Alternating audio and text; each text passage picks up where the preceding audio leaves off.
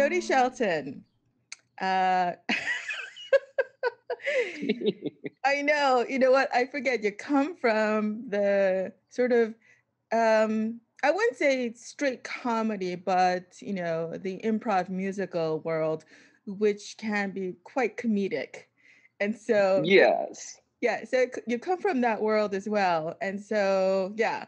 So you do kind of like break into character sometimes.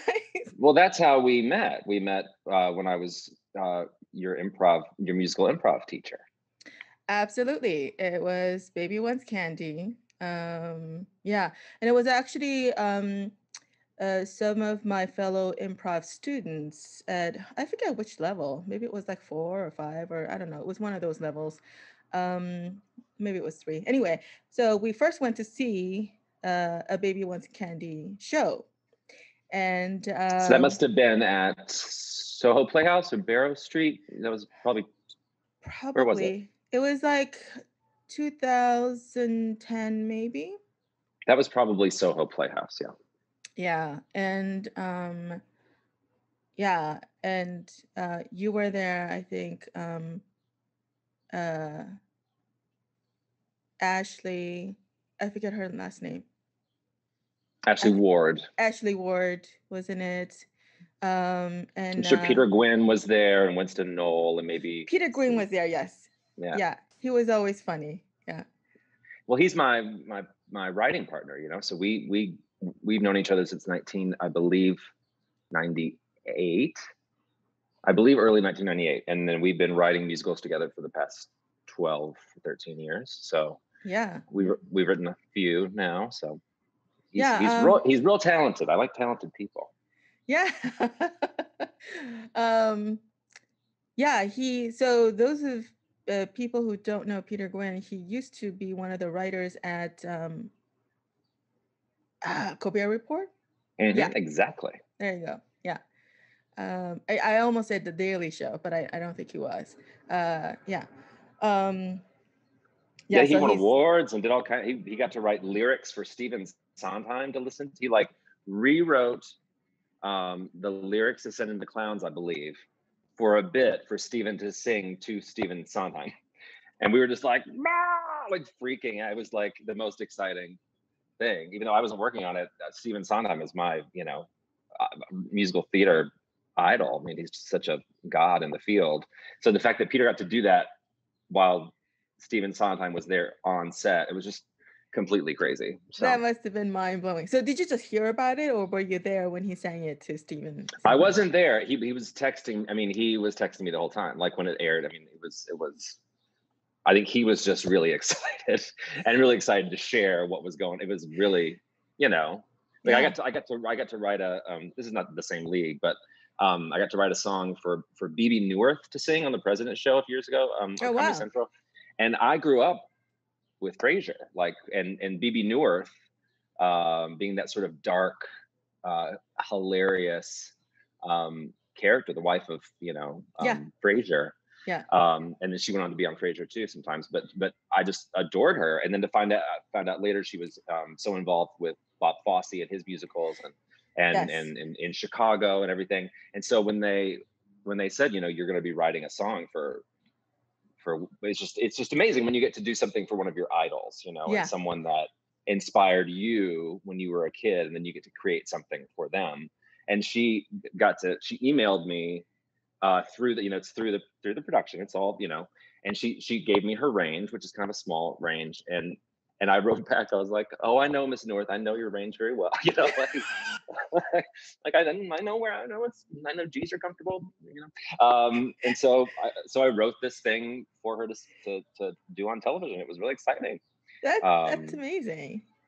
Yeah. I, I, think uh, Bebe Neuwirth. I think uh, she comes from the theater world. I think, yeah, right. it was just that. I mean, um, Frasier there was when I, and Frasier and, came. I mean, she was still really young, but she yeah. was doing musical theater in college and all through you know and all throughout her career. Yeah. uh, but she's a dancer i think first right? Yeah yeah yeah she's also a dancer. I mean she has a dancer's body if you if you oh yeah. yeah. Um and um yeah i but i didn't know that as well until after frasier and then um uh, there were billboards all over Manhattan that Bebe Neuwirth were was coming back doing Chicago, and I'm like, what? um, I can't remember if I went to see. I did see Chicago on Broadway. I don't remember if she was in it, or maybe that night she wasn't on it. She was supposed to, and it was understudy or something. I don't know. I can't remember. But um, yeah, but I did wanted to go see Chicago just because of her. Oh yeah. yeah. I mean, she's she's just one of those magnetic people. Yeah. And then they they uh, for the little number I made for them, I, I, had not seen the choreography before they before we taped it, and I was in the audience, you know, a few feet away, and and she uh, it ended up with them dancing on the table, like on the on the president's desk. The, like the Oval Office of, on the set, it was her and with, with the, the guy who plays Trump, and it was really, I was just like when, when they got up on the table, ah, you know, it was just really exciting.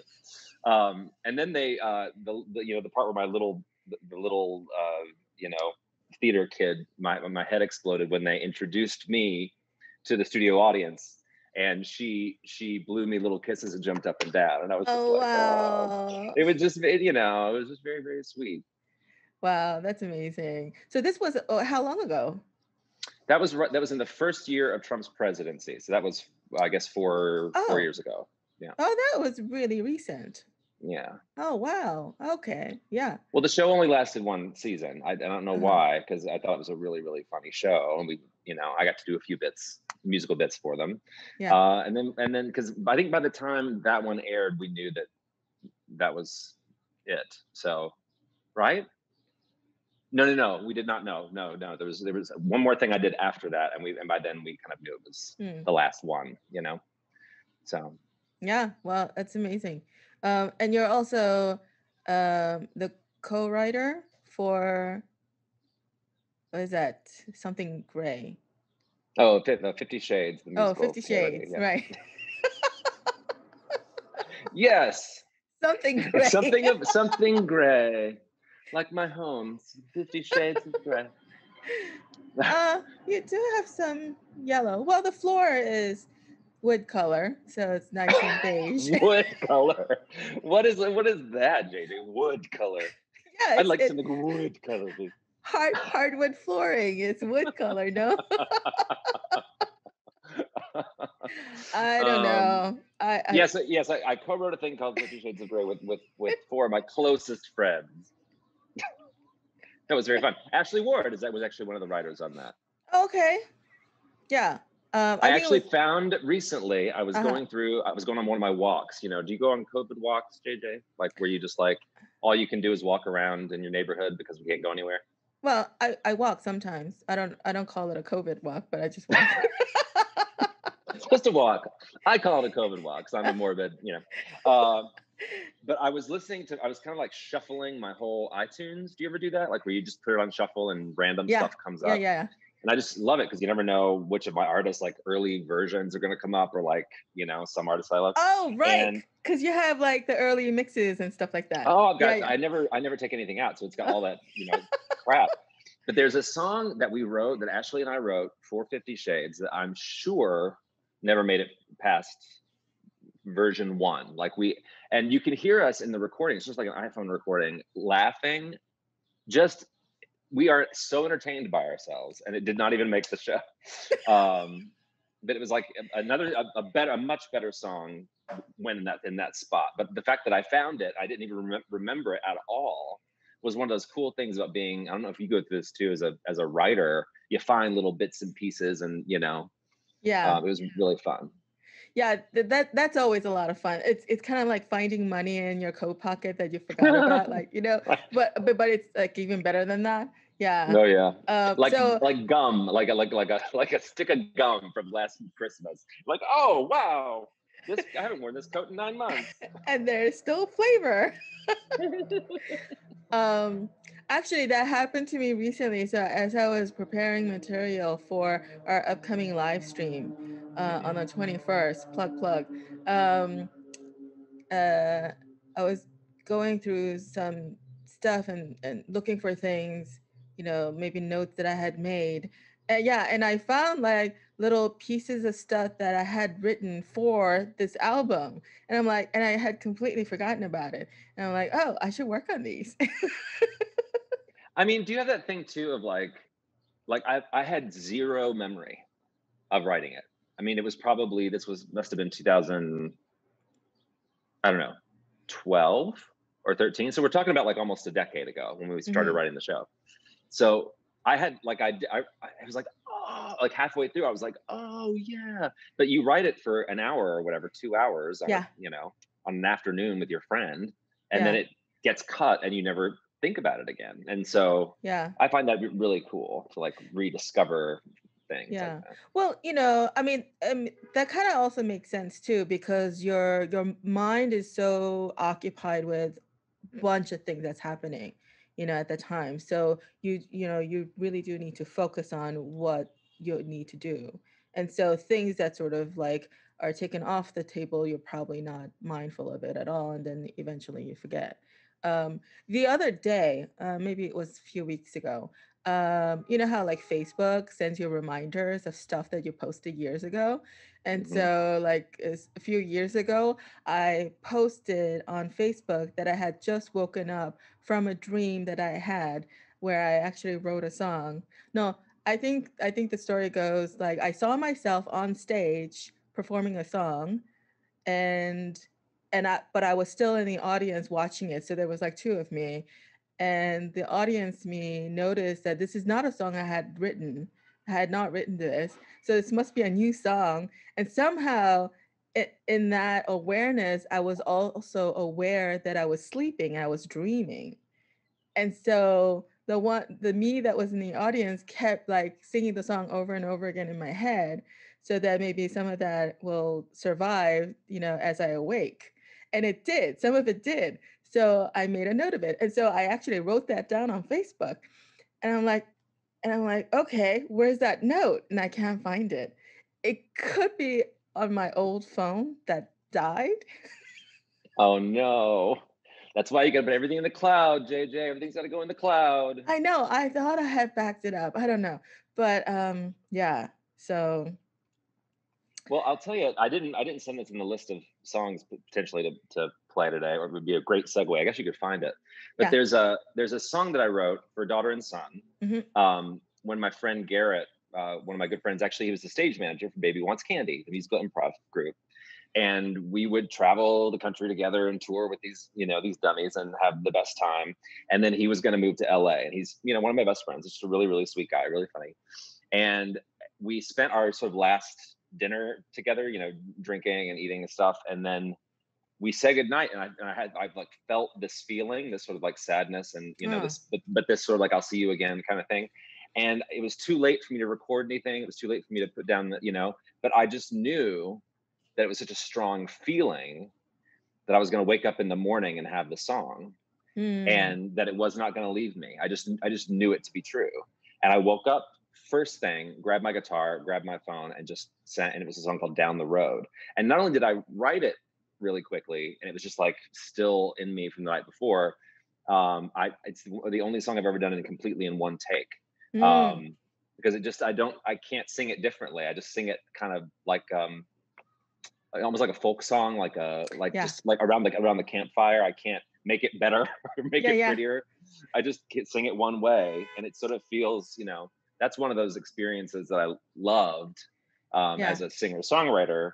Um, to sort of like just trust that the feeling and the song it's all going to be there in the morning you know yeah so now that you bring it up so you're you're no longer a singer songwriter you've retired so i have speak. retired i mean i i don't know what the future holds you never know sure. but i spent so many years doing it and it, you know i was really really active and and both as a solo artist and then with with daughter and son this um uh, project I did with uh, with Katie Fawful and this guy Oscar Alvis Rodriguez, and you know we we worked really hard. And we did lots of stuff that I'm proud of, and you know it, at a certain point it just became you know I have so many artists that I love to work with like you JJ and other people, um, and I spent my sort of singer songwriter years you know developing these skills to produce other people. Yeah. Um, and I loved my like 20 years of being a singer songwriter. It was fabulous and phenomenal, and I could do it again. But I've, I've lost that sort of like hunger mm. that it takes to, to do a residency at Rockwood or go on tour or you know put together a band and do an album. I, I have so many things going on with other people and with my musicals and with you know um, other projects. I just you know it, it, it's something that I consider to be the past, and I'm I'm mm. so glad I did it, and it's it's always going to be part of me, and I love those songs, especially the daughter and son material that I developed with Kate. But yeah, I'm I'm I'm retired for now. Since 2015, I'm retired. Um. Oh, as of 2015, you've retired. Um, that was my last. Yeah, my last show was that year. Yeah. Okay. Did you know that it was going to be your last show? I mean, so you kind of knew you were going to hang up that coat yeah, I think I think I pro I I thought there was a slight possibility maybe we could come back or something, but I did one last solo show with Kate there as well, but it was just me singing with Ashley Ward and Roman Peters, my two friends from the comedy world, and some musicians that I love. Actually, Al Viteri uh, on drums from Baby Wants Candy. It was like a big sort of confluence of a lot of my, you know, uh-huh. lives. And we sang a bunch of my songs and a bunch of bluegrass songs and just like whatever, you know, I wanted to do. Nice. And it was it was such a fun way to sort of go out. Um, Where was I? I don't remember. Was I there? I don't. I don't know if I was. No, I think the last show I saw was with you and Kate. It okay. was a daughter and son's show. Um, I think okay. maybe it was like maybe your. I think you did. You put out two albums or three albums with her? Two, two albums. Two. Mm-hmm. I it might have been your second album release. Okay, um, so in, in Rockwood two, the bigger sort of stage. Yeah, the bigger stage where you had the balcony. Yeah. Yeah, yeah, yeah. I saw. Did I you sit in the balcony, or where, where, where were you sitting? I was in the balcony, uh, so almost like behind the stage. Oh, okay. Yeah. Like like over to the side. Over to the side, but it felt like we were behind the stage because like we, yeah, it was sort of weird angle. Yeah cool. I love that. I miss Rockwood. I want to go back. Mm. I want to. I want to see people and musicians and be in a place that's not. I love my home, but be in a different place. You know, last Sunday was the first first time I actually left Flushing since the lockdown. Oh my god! Really? Yeah. Well, yeah. I had. Uh, I got my second shot uh, last Monday. Um, so I was actually going to record with Sebastian last Monday, uh, but I was gonna get my shot, and I had a feeling like, oh, what if I get sick? You know. Um, so I had to reschedule him, and that's why I did it with him yesterday.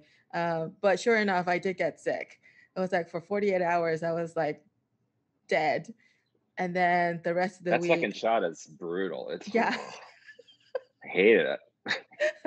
um, yeah, and, and it did take about a week to kind of recover. I, I'm still feeling a little fatigued um, but I'm not. I don't feel sick, sick. You know. Right, right.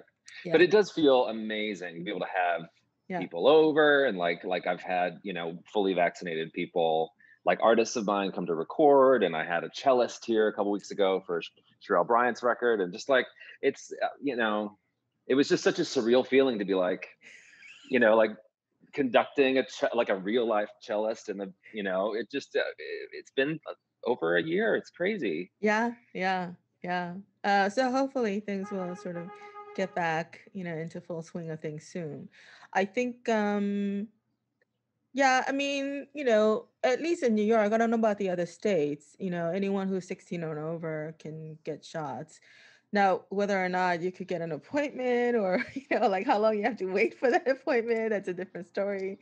But uh, I got mine, uh, you know, I got my appointment pretty quickly. So, I mean, by the time I got my second shot, it was like, I was, it was in and out. I didn't have to even wait. I went right to get my shot and then I had to wait 15 mm-hmm. minutes at the end. I think the whole thing was like 18 minutes. Yeah, the second so. shot. Yeah, yeah, it was like that. Actually, also by the second shot, like I, because uh, you know, you go back to the same place. It feels like they they had their act together a little more. Uh, yeah. So, you know, things were more streamlined. Um, totally. But anyway, after my first shot, I was like, woohoo, I got myself an ice cream, took pictures, posted on Facebook. So after the second shot, I don't know, I felt like, oh, whatever, I, I've done that already. I mean, yeah. True. Yeah. but um but anyway i mean i i did have an incentive i was kind of like um i was really not in a hurry to get my shots for some reason i felt like oh you know because i haven't gone anywhere and i had i didn't really have any plan plans to go anywhere you know um i did everything out of my home so uh but it wasn't until we were we started talking about the live stream. And uh and then you and i was thinking i was sort of like i don't know thinking weird about it that we were all going to do this remotely and you were like how are we going to do that remotely? It's not going to work.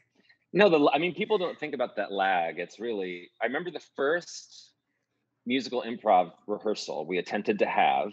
This is yeah. last march or maybe early april of 2020 and we have developed a way I'll, i can tell you about it if you, are curious but yeah. um, but we just we said let's let's just try it let me just try to play i think i played the warm-up you know and i think i just started to play you know my normal zoo warm-up or whatever and everyone started singing but everyone's on a one second delay a two second delay a half second delay and it just sounds like ah! like it just sounded like and you it's really impossible. It's it's not something that they've been able to you know you can record yourself individually and then someone can edit it together later but it's impossible to play live. It's just too much of a yeah. we don't have that we're not technologically there yet unfortunately.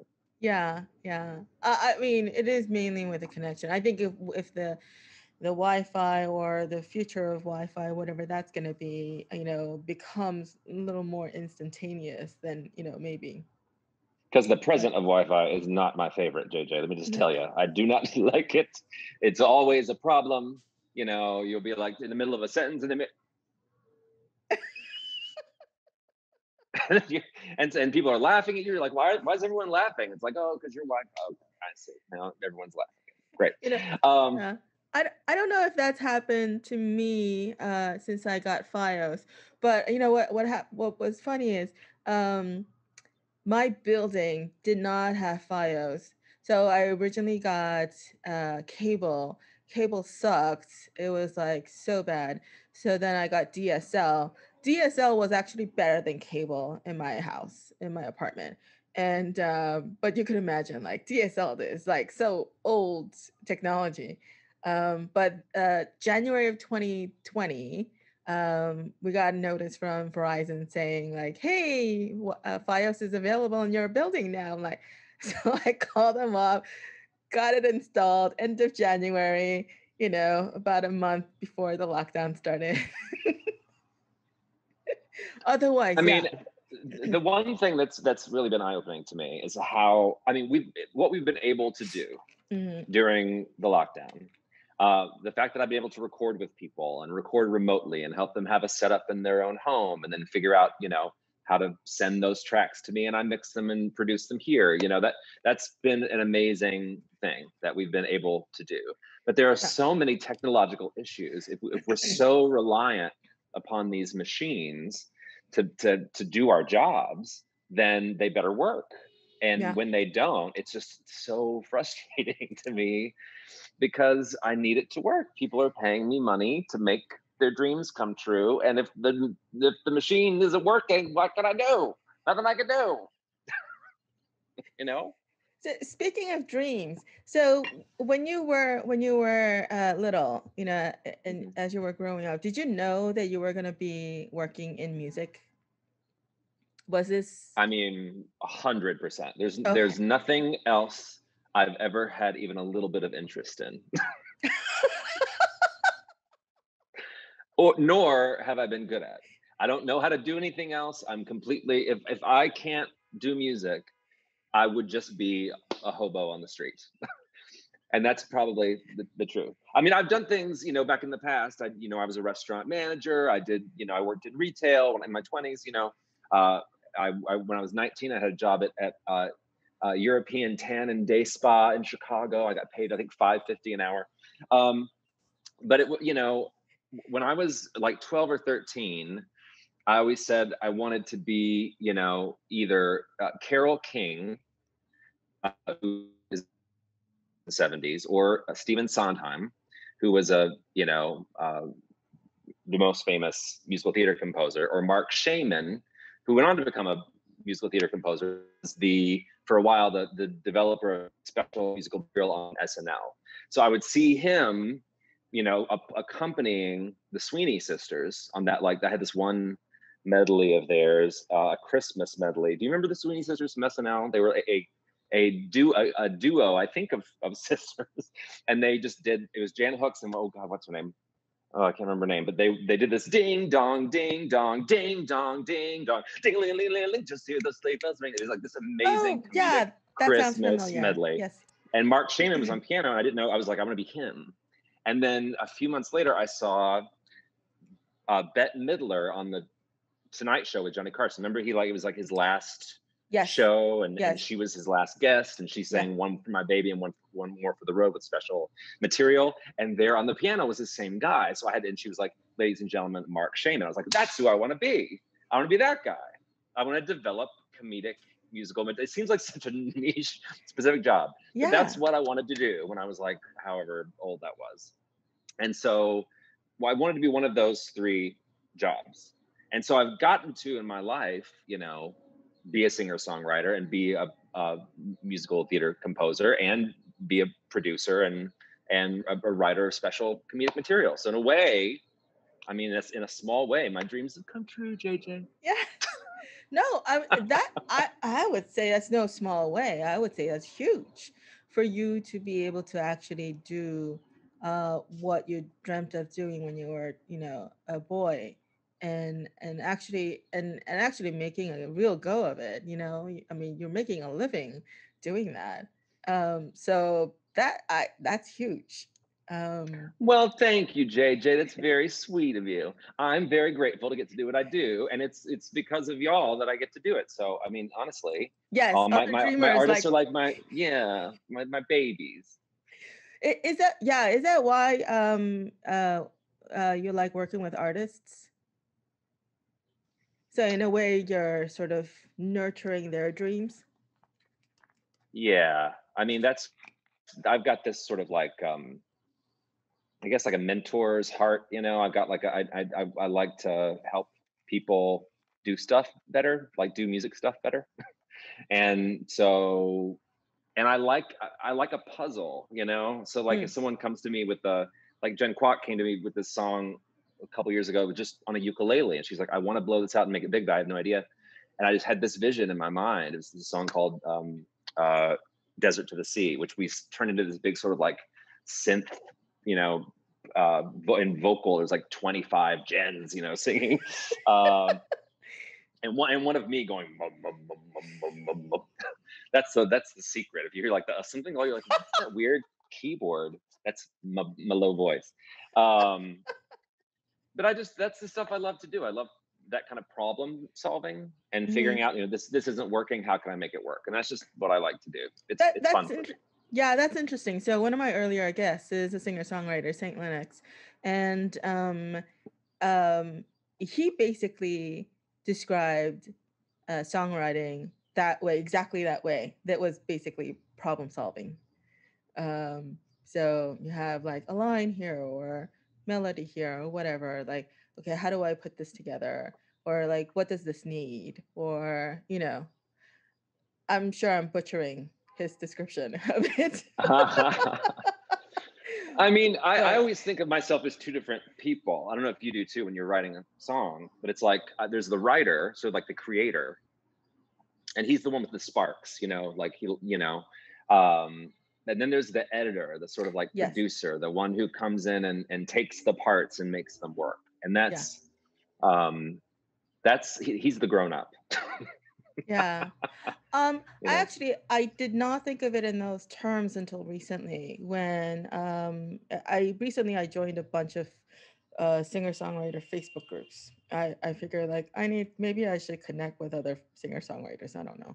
Uh so i joined a bunch of facebook groups and um, and I've been sort of, kind of looking at some of the posts, and um, and one of the posts actually described it that way that um, uh, that there's actually two sides. You know, there's the writer and then there's the editor, and um, you know and sometimes sometimes we get stuck well what he was describing was like writer's block like why sometimes we get writer's block is you get stuck in editing mode so it's very you know you're looking at things through a very critical eye as opposed to like sort of letting the ideas and, and energy flow uh, so that can sometimes block you from creating new, new things Actually, this leads us to a track that I sent you, if you don't mind. Okay, uh, sure. So let so, so let me explain. Yeah. So Rebecca Vigil is, is an artist that I work with, and she uh, she played Princess Leia in a uh, oh May the Fourth be with you. By the way, today. Oh, May thank 4th, you. Yes, uh, May the Fourth be with you. um, I wrote a uh, a Star Wars uh, parody musical a few years ago that did not get picked up, but we did a workshop and it was really fun and uh, Rebecca played uh, General Leia, Princess Leia, and, uh, and it was really great. And we've done lots of stuff together, and I've, you know, we, are really good friends. And so uh, she's been doing in, in 2021 a, a new song every month. Mm. Um, but what's great about, and then she puts it on Instagram. So go to uh, who is Rebecca Vigil, I think. Instagram. I'm sorry if I messed that up. Um, but, but Rebecca Vigil on Instagram, and she does these little like like one minute uh, one minute songs. And uh, she brought this song to me that was like a partial song. And she and this is what's great about collaboration. We started working on it and it was about one thing. It was about how long we've been in covid. We can't believe it's been a year you know in lockdown. And then we started working on it and working on it and remotely because she's in denver now and we were on on uh, zoom and just sort of like going you know back and forth on ideas and i would send her new drums and synths and stuff. And we spent two hours on it. And then by the time I saw her next, the following week, it had changed completely. and it was about how, because it, it has this like driving sort of like, like workout beat to it. And it, and she uh, hosts and and runs uh, workout classes, like these HIIT classes as well. She's really popular. People love those classes. And by the it was the the new uh, version of the song that she came up with was I can't believe I have to exercise every day for the rest of my life to stay in shape. I can't believe this. And so she wrote this really fun song. It's pretty quick. Um, uh, called "I Can't Believe." So if you have that, it's number one. Yeah. It's um. I'll uh open it up. I love this song. This one. Uh, hold on. Let me bring this down here. This is it. Oh, you're kidding me. I have to download it.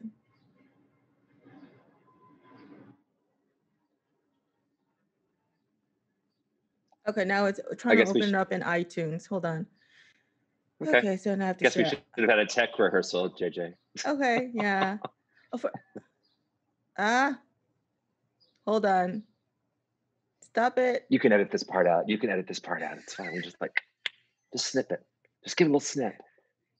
Nobody will ever know. it's it's playing, and I can't uh, seem to. What the fuck? Where's my? why won't my iTunes open? oh, it is know, open. JJ. Hold on.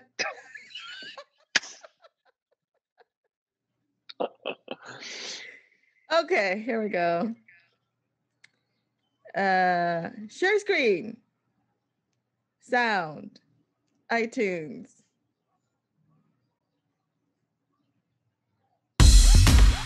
Oh, yeah.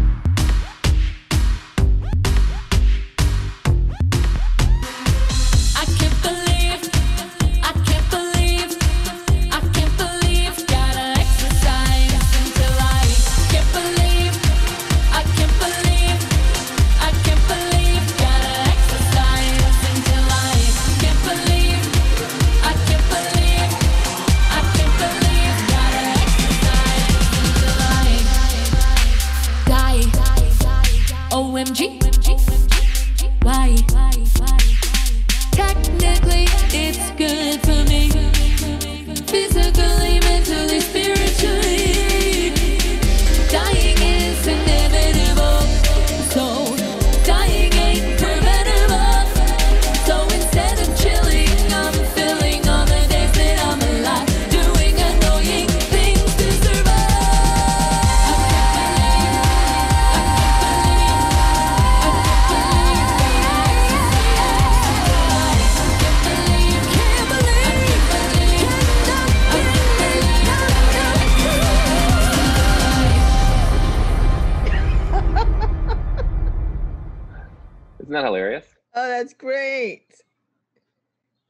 I love that song. I think it's it, it, like goes through my head all the time. I'm like, ah. And she does these really funny, cute videos. Like that video is her just working out like like a mad woman.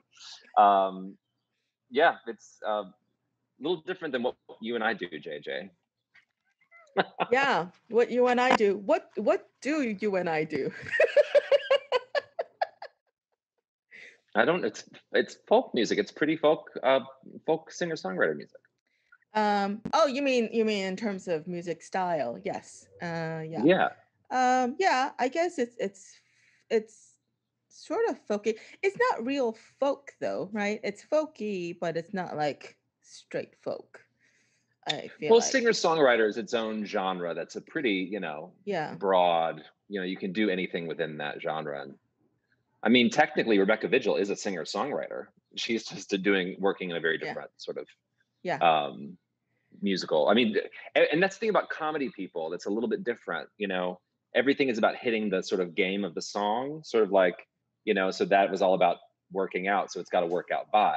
Mm. So, um, uh, you know, so every, every song is not about her, you know, it is about her personal style, but it's about sort of what's going to be the funniest mm-hmm. musical choice to go with that lyric and with that kind of song. Does that make sense? Yeah, oh no, absolutely it does. Um, and I I realized long ago that I'm not really a comedian, although I would love to be one. Um, and um, I think well, it's good you took improv. I mean, improv is great for everyone to to take. You know. Yeah. No, absolutely, and that that certainly taught me a lot of lessons and stretched me in a lot of ways.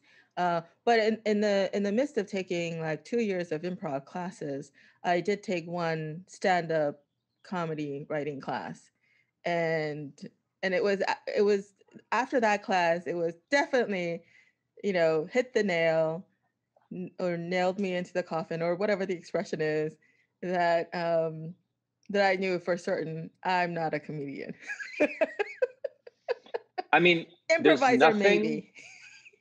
There's nothing that would make me more anxious in the world than having to get up in front of people and tell jokes. I just don't. I mean, I'm. I, I think I'm a funny person. I work yeah. in comedy. I'm a. You know, I'm a comedy person. Being a stand-up is my personal hell.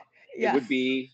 It's just I've seen so many people bomb, and and each audience is different. You know, I mean, like you never know what you, what your setup is going to be. Like I've done so many corporate gigs. Like there was one baby once Andy good JJ. This was so awful because we do all this. We did tons of corporate stuff you know and so you're you're you know teaching improv to to corporate people or uh-huh. you know uh-huh. and they're doing it with each other and it's it's great it's a great team building exercise for for corporations yeah. i've done tons of it um, and you write special material for you know and you do a show so it's like it's like um, helen down in hr she's so crazy you know that kind of thing and it's really i mean and it's really crazy it's really you know i've written probably 60 or 70 of those kinds of songs in my career.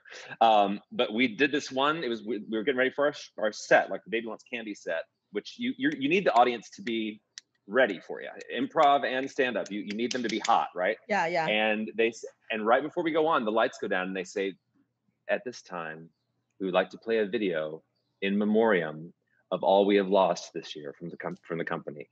And they played a video me? of everyone who had died you're kidding me. With sad music and the lights down. They brought the lights up and they go, Who's ready for some comedy? and we were like, Oh my gosh. It was Who, who's I mean, to idea? have to go on and do I don't know. It was the worst. We I was in panic mode. Like my first song was like like the fastest song you ever heard. I've got to get some we gotta get wake these people up. Oh, it was a nightmare. Nightmare. It, you know, whoever was the event manager for that event is the, the that was the most incompetent way to put together an event. No, no, you don't do that. I mean, it, I don't. People maybe thought like, oh, we'll do something sad and then we'll do something funny to keep. You know, I, I don't know what they're thinking, but for comedy people, that's just yeah, uh, a nightmare. But but yeah. you, that's why I just don't like being on stage. Being alone on stage with the mic is probably the worst time I can think of. Bless them. Bless you that's how I feel about me performing on stage. I know, I mean, there there've been times when you uh, very strongly encourage me to do my you know own solo shows and stuff, and I'm like, no, I don't want to. It's hard. I need it's I really need my voice. I need my voice on stage with me. You need a sidekick. and and just, you know just, to be just pull out the clown. You know, whenever you whenever there's a lull, just look over at Jody and like, you know. oh Lord, Lord no me. no I don't need a focus pull. I need support. And that I am for you. oh no, you absolutely are. And and uh, and, and you know, and I said this to to you before. It wasn't until I actually started watching my own show videos that I realized like how much you guys did support me on stage. Yeah. And um and ever since then I I just like I should have I should have watched them before. I mean, I'm a firm believer in, you know, back when I was performing, uh, Yeah. I would have every every show filmed.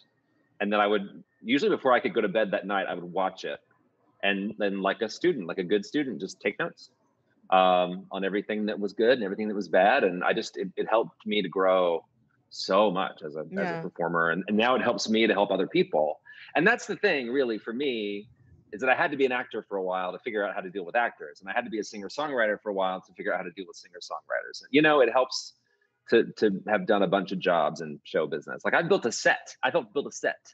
You know, so it, it helps to kind of like have done a little bit of everything, so you can be involved. You know, and, and kind of understand what everyone's job is. You know, exactly. So it really was a progression for you. Um, so unlike um, like Sebastian, uh, where he he started out as a guitarist, he's still a guitarist. Um, I mean, he does have his own band that he leads, and and he does do he does some you know producing work, and he also has students that he teach. But primarily, he's a guitarist.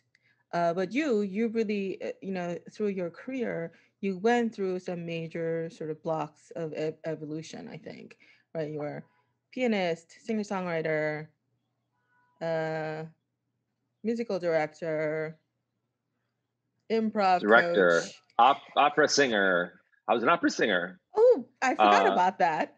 Yeah, that was I.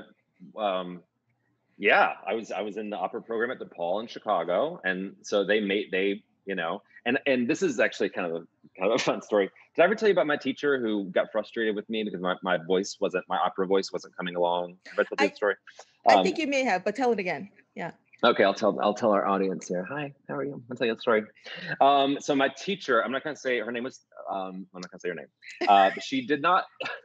she was a wonderful teacher and very serious about opera. And I was 19 years old. Okay, I was very very young, and I was I was there on a scholarship. And they they don't want you to sing anything else, which I always did. And they didn't want you to do things like I was smoking cigarettes. They didn't want you to do that. They didn't want you to drink or do it. It was it was very rigid, sort of like uh, conservatory program.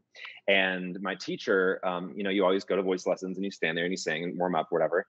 And um, one, uh, and and sh- I was always doing bits, and if I'm uncomfortable, I, I can't help but joke around. And she doesn't like that. She doesn't. She did not want. She wanted serious opera, you know. And she was like, you know, Jody, your your voice isn't developed. It's it's such a great voice. It's just not an operatic voice. I want you to take this CD home. And she gave me one of her personal CDs of Sam Ramey, this like big basso profundo, like oh, kind of singer. And she said, I want you to come back next week. She thought she was going to get me, right? And come back next week doing an impression of Sam Ramey. And she thought she'd get me through comedy. She'd get me there, you know. But I thought, well, I'm going to get her. You know what? I'm gonna, I'm gonna get her real good. I'm gonna do such a like, like dead on, like, but just a little heightened impression of this guy. And I'm gonna just blow it out. I'm gonna be like, ah," like so stupid, and I'm gonna make her laugh so hard. And then I get there, and I've been working so hard, and I was like, oh, I'm gonna goof on this so hard. It's gonna be so fun. And I sing the aria, and she sits back in her chair, and she goes, "Congratulations, Jody, you're an opera singer." And I was like, she got me. She got me, and she got me good. And she did. She changed my voice forever. Like I, if I had not dropped out of the because I hate it, I, I can't be an opera singer.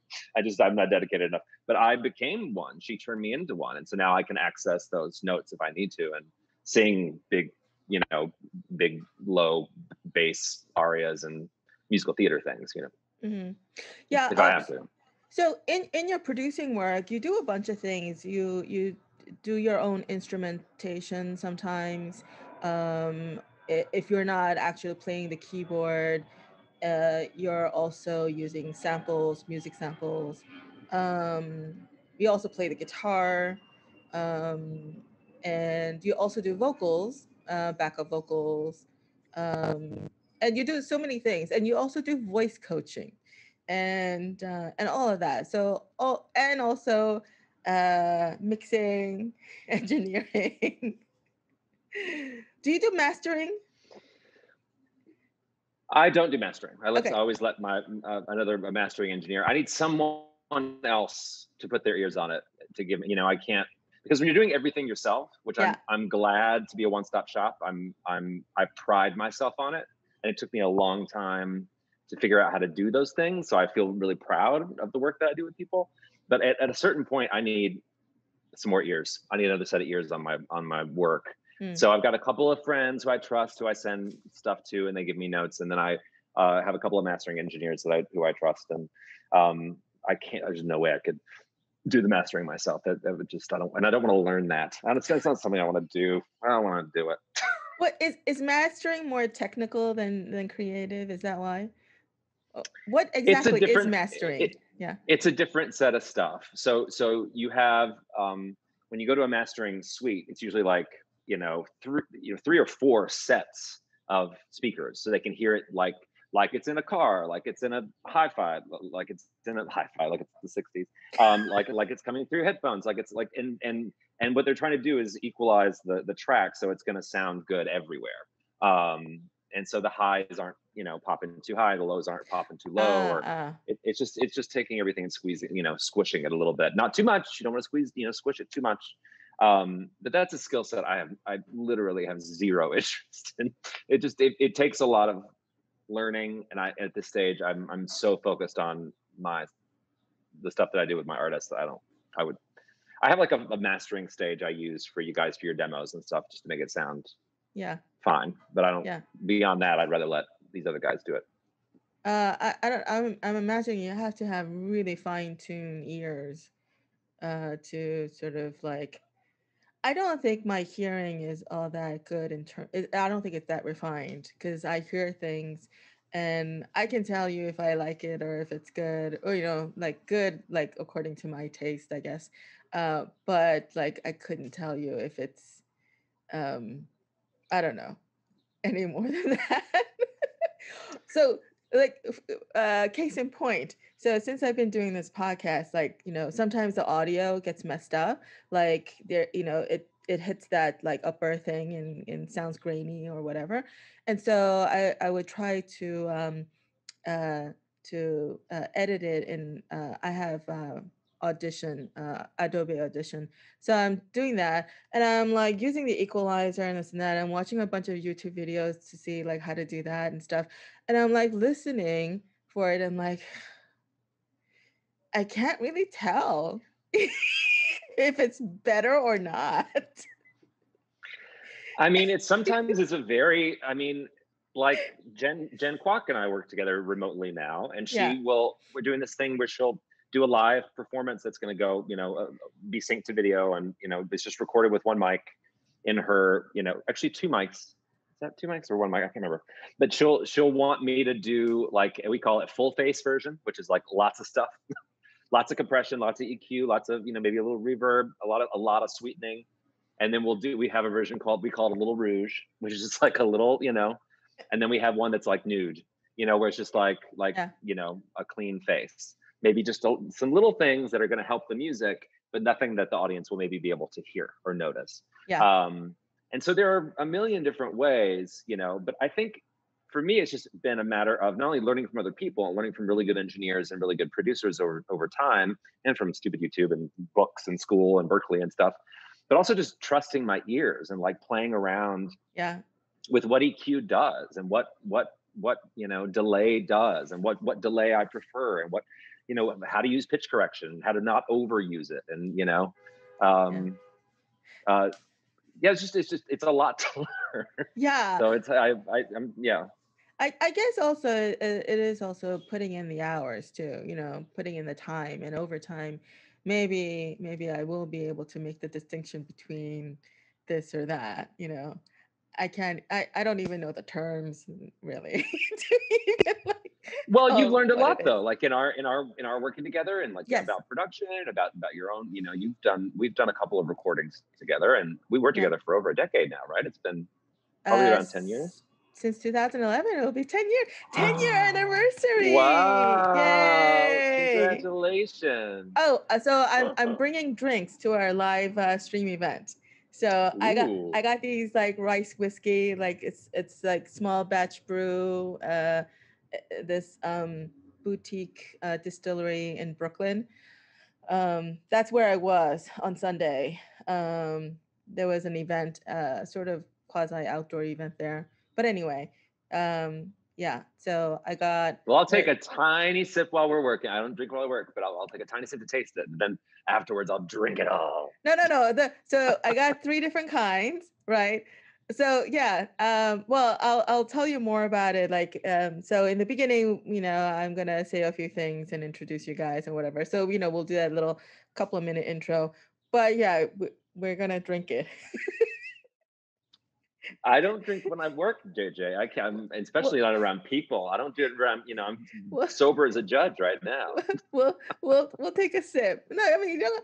We don't have to drink the whole bottle. We'll just take a sip. No. No, actually, yeah. I'll tell you a story. I don't. I don't, I don't mind telling the story because I I think it's been enough time's gone by. Yeah. Um, it was it was a Baby Wants Candy show. Yeah. At Barrow Street. This has got to be 13 years ago. Yeah. And it, there was a lot. There were a lot of understudies in the show, and I so you know I, I, didn't even think about it. And my, my family had come in. My, my brother and his wife had come to see the show. They they'd never seen it before. And Christian was coming. He never comes. My husband. And so like it was really I was but but we had been out to dinner. I'd had a couple of drinks, and the show was the worst show we had ever done. And I blamed myself. I know it wasn't my fault. It wasn't my fault. It was the understudies and just the combination of the bad audience and under rehearsed understudies and maybe my having a couple of drinks. But I'd ever since then, I used to like go on stage with a couple of drinks, you know, but now I after that experience, I want to be mm. as in control as I possibly can. Um, maybe if I have, you know, if I'm like at a loose cabaret at the duplex or something, I'll, you know, have one throughout the show. But I, you know, it's I I get really, I want to feel like I'm, you know, all right. There. Then we'll do it after. I mean, I'll have a sip, but no more than a sip. Right. No, but we could. So we'll yeah we'll do it. At, so maybe we won't do it at the beginning of the session. When when we after we wrap up the session, we say goodbye to the live stream audience. There'll probably be maybe one or two toast. people. Yeah, we'll we'll do a toast and and whatever. Great. Yeah. Great. Okay, we'll do it that way. Yeah, because I don't want to. I don't want to. You know, mess up any uh flow or whatever. Yeah, I don't want to do that. All right, cool. I mean, okay. I've, I've got videos of me from back in the day when I was just like, come on, the music, man, you know, like, um, and it's not fun to watch. It's a mess, you know. uh, yeah, I didn't think we were gonna get like that. I oh, I lost you. Um, yes, I got a, a call from the lobby door, and I re- declined them. So. Oh, do you need to get them? I could pause. Yeah. I'm not okay. worried about that right now not worried about okay. that.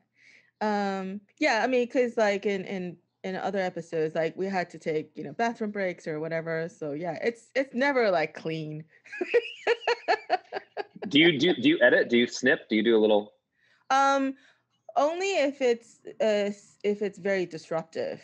But if I pause and then I come back on, then you know, then it's fine. Uh, but like if there's a you know, major disruptive stuff, then yeah, I do I do snip it. Yeah. But like okay. us talking about this, like I'm not gonna edit that. Yeah.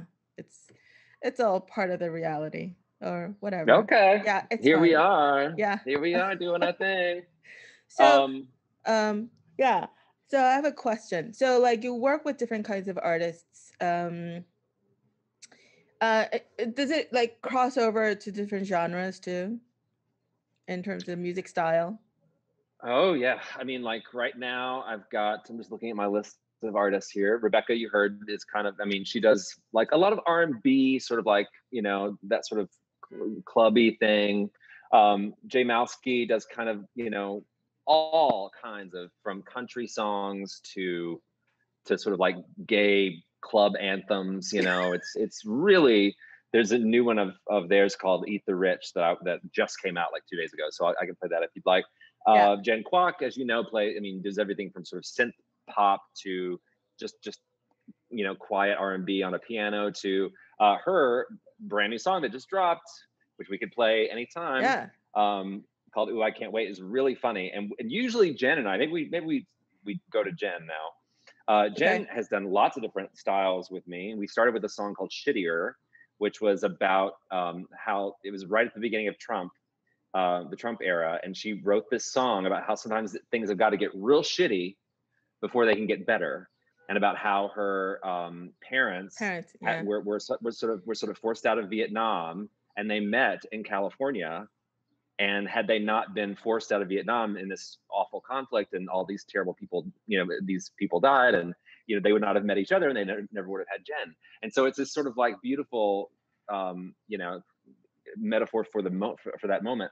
And then we did an EP of all um, well, we did the the songs for one. Did you ever go to songs for one, JJ? Yes, her, I did. Her, the, yeah, I that did. Where she, she just sang. Uh, so we developed that together, which was really really fun. Uh, and that was just where she would sing a 15 minute set just for one person in a, in a room. And if you experienced it, I don't know if you want to talk about that at all, but um, yeah, it it's um, yeah, it's it is it's very intimate. It's very personal, and in some ways, it's intimidating as well because um, you know. Uh, but despite the fact that I put myself out there and I perform and I'm doing this podcast and all that, I'm an extremely shy person. I don't like being in the spotlight. And um and I actually and when you're in when you're in a performance and you're in the audience, the audience portion is dark, right? And um and it's, you know, uh and the people who are performing can't really see you I mean, you know, maybe they can hear you, but they can't really see you. But here, the song for one, they can see you. they can see you react. You're like face I mean, to face. And, and you and you can talk about this on her episode. And she's got her own episode, but, but yeah. we, we she had every kind of reaction you could imagine. Yeah. To this show, like people who wanted to just go in the corner and lie down, and people who wanted to like get in there and cry and be like, oh, oh no, I, you know? so, I definitely cried. Yeah. No, yeah, I mean, it's it's yeah. a very emotional experience. Uh, I mean, I cried multiple times while we were developing it, you know? So Jen, yeah, so songs for one, and then we did this whole sort of like um, um, synth, you know, pop record uh, that was based on songs for one called songs for one that was very different than songs for one itself but it was the songs from that from that show and then uh, her most recent thing just came out so play it it's called ooh i can't wait um, it literally right. just came out on instagram a few minutes ago and um, it's and it's it's about COVID. So it's a fun little bop about COVID. And we and usually we spend weeks and weeks and weeks producing stuff and, and working on stuff and months and years. But this one we produced in I think a couple hours, real fast, remotely, just a few instruments, and uh, I think it's so fun.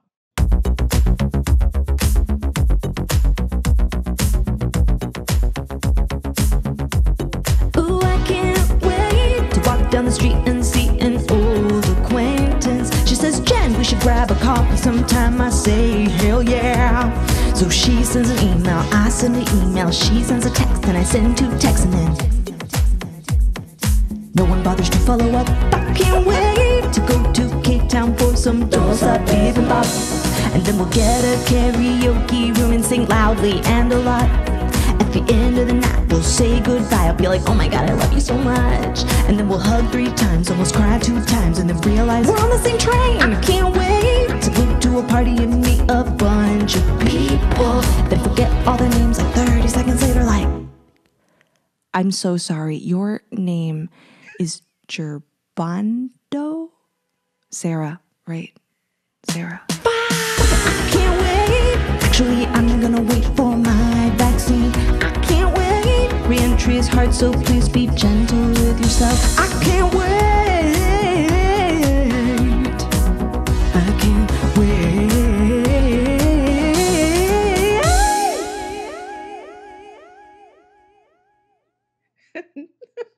Awesome. Isn't that fun?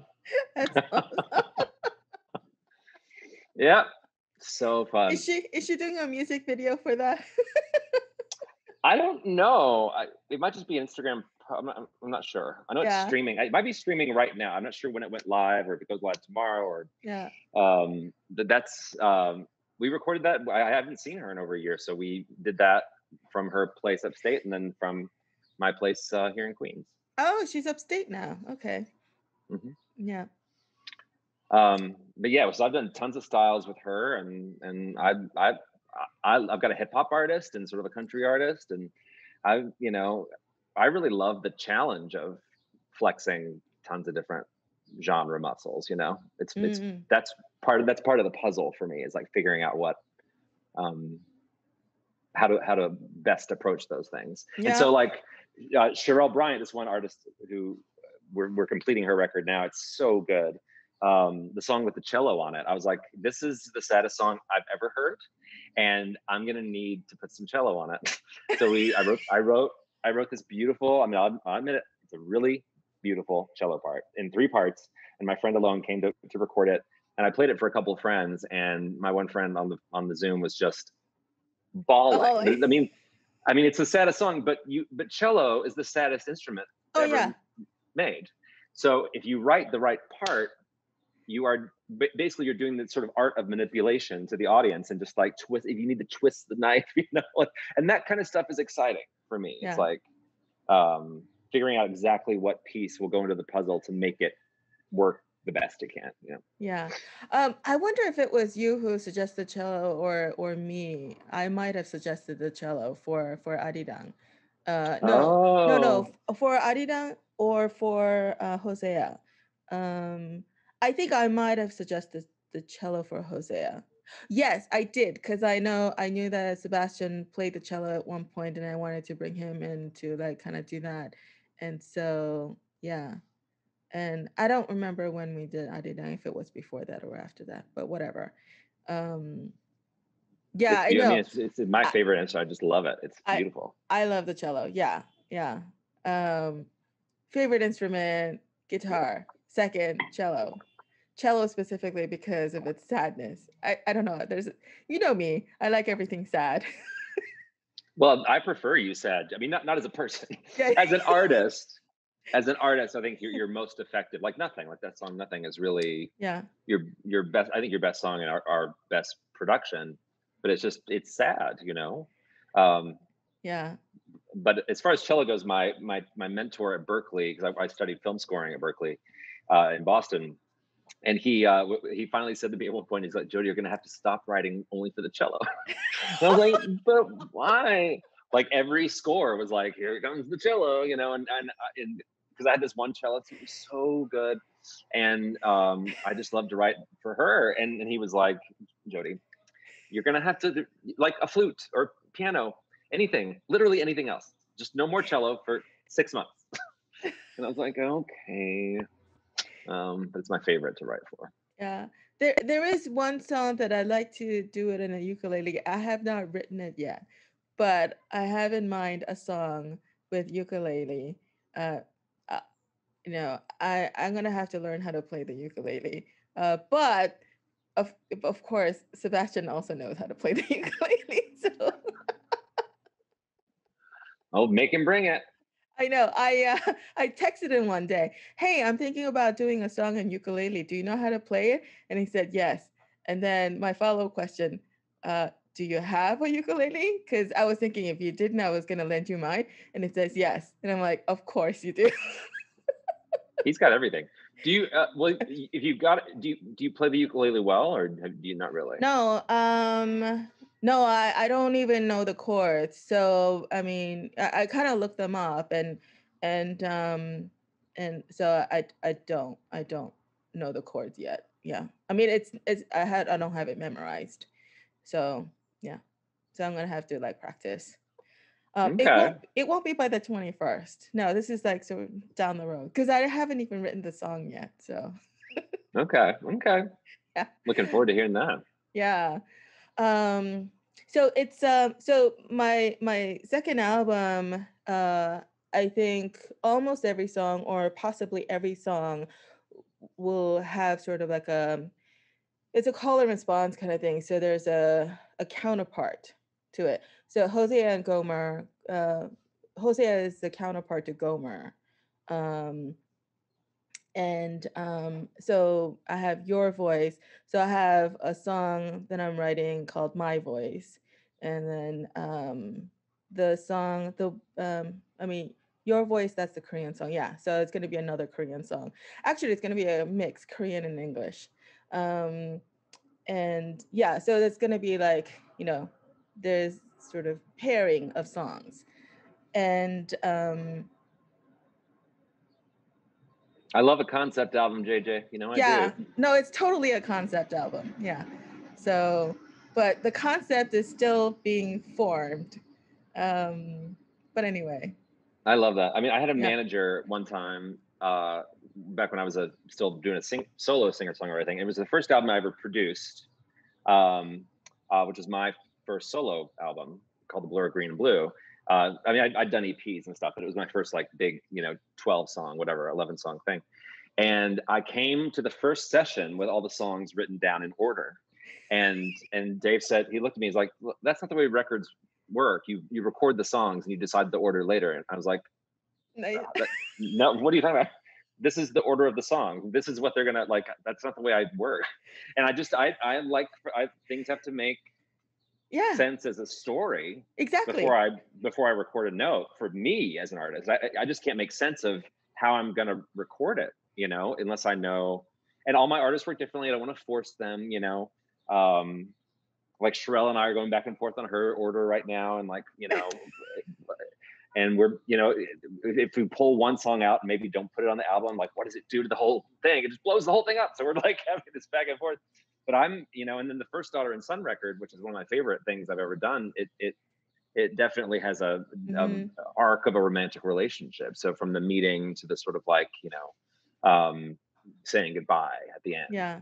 Um, so and we wrote that as a concept album. So not even like before we even wrote a note, we decided we were going to sort of try to do an arc that way. And yeah. um, and I, I, don't know, worked out pretty well, I think. No, I know, I I love those songs. Um, but by the way, your your blue and blue and green.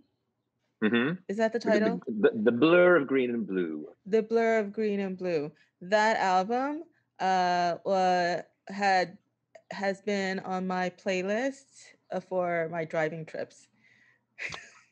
it's a good. I mean, that's why it's a. It's called the blur of green and blue. It's like watching everything go by. You know, yeah, it's like, yeah. Uh, um, yes, I started writing that album in the 90s. Like I started writing one of the songs back when I was uh, on tour with Second City. And that song, Blur, made it 10 years later to, to, to that album, a slowed down version of it. And then it was, it, so it's like 10 years of writing in one um, yeah. Ah, yes, yes, particularly the blur, because you have a uh, sort of a fast rocking kind of version, and then you have the very slow, very sad kind of version. Yeah. Exactly. You do. You got your, you know, your I, facts. You, Jody, I, Jody Shelton facts. Yes. I. I. Uh, well, yeah, because that's also like one of my one of my uh, favorite uh, songs on that album. It may be Aww. my the my the favorite song on that album, maybe. Um, it's a um very no one no one listens to that song. I'm always aware of like what songs are like really? in what order on on like streaming. And there's this one song from the Daughter and Son record that's always number one, and it was we almost didn't put it on the album because we thought it was we couldn't figure out the concept or whatever. And then Blur is one that uh, it, it it's always like last. you know and i love it i don't know why i know, know. Why, why, do people listen to stuff really i don't know why i have no idea i love and you know song. your number one song today jj i, I looked because i didn't get the link you nothing did? is number one the one i was going to play of yours is number one wow. on, on, on apple music wow because i think for a while um falling was number one um I, I think falling is accessible in terms of the story and the song i mean it's clearly it's about a you know um, a relationship that's breaking apart you know um and you know everyone can relate to that um i don't know i i don't think my songs are necessarily opaque um a lot of them do have sort of like layered meanings and so it's not apparent as to like exactly what the song is about. Uh, there was there was one song on the album. It's about suicide, but I don't think anybody would know. I mean, I love those. Yeah. You know, when, when you don't want to give too much away as far as what something is about.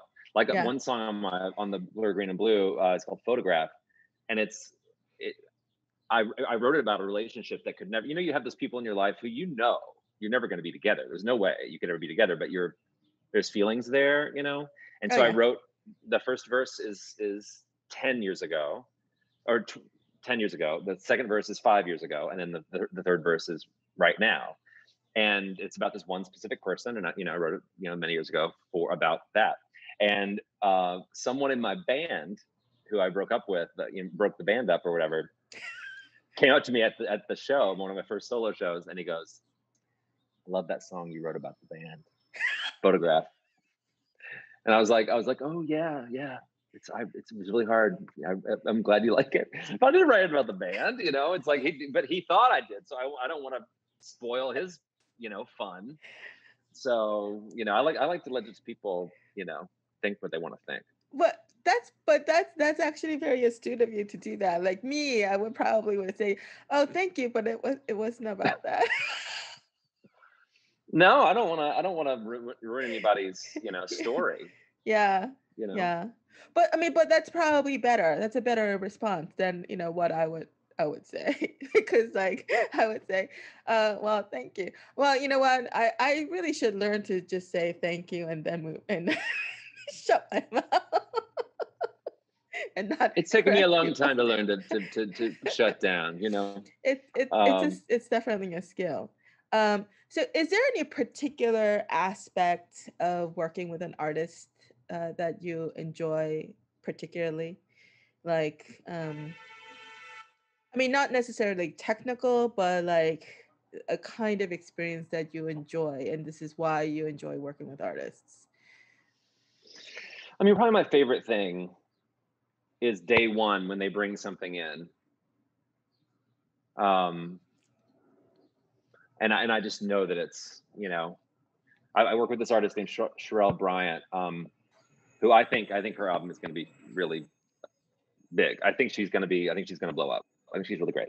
Um, but uh, but she came. Uh, her voice teacher is actually Katie, um, who I was in Daughter and Son with, and she put us up together and, and, we've been making you know music together. And katie's been trying to get her to do this to record this one song that's a very personal song. And um, i don't think she wanted to record it because it was so personal.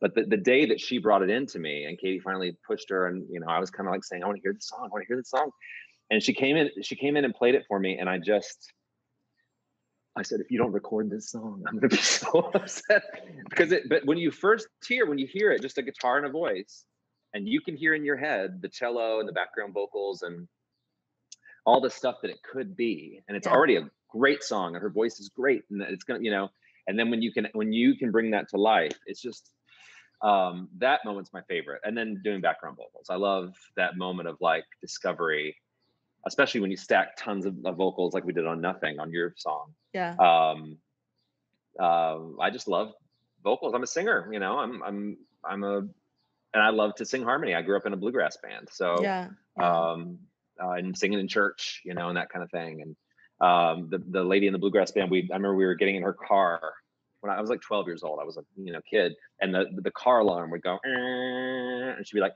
Mm, mm, mm. you know, we'd like sing harmony with the car alarm.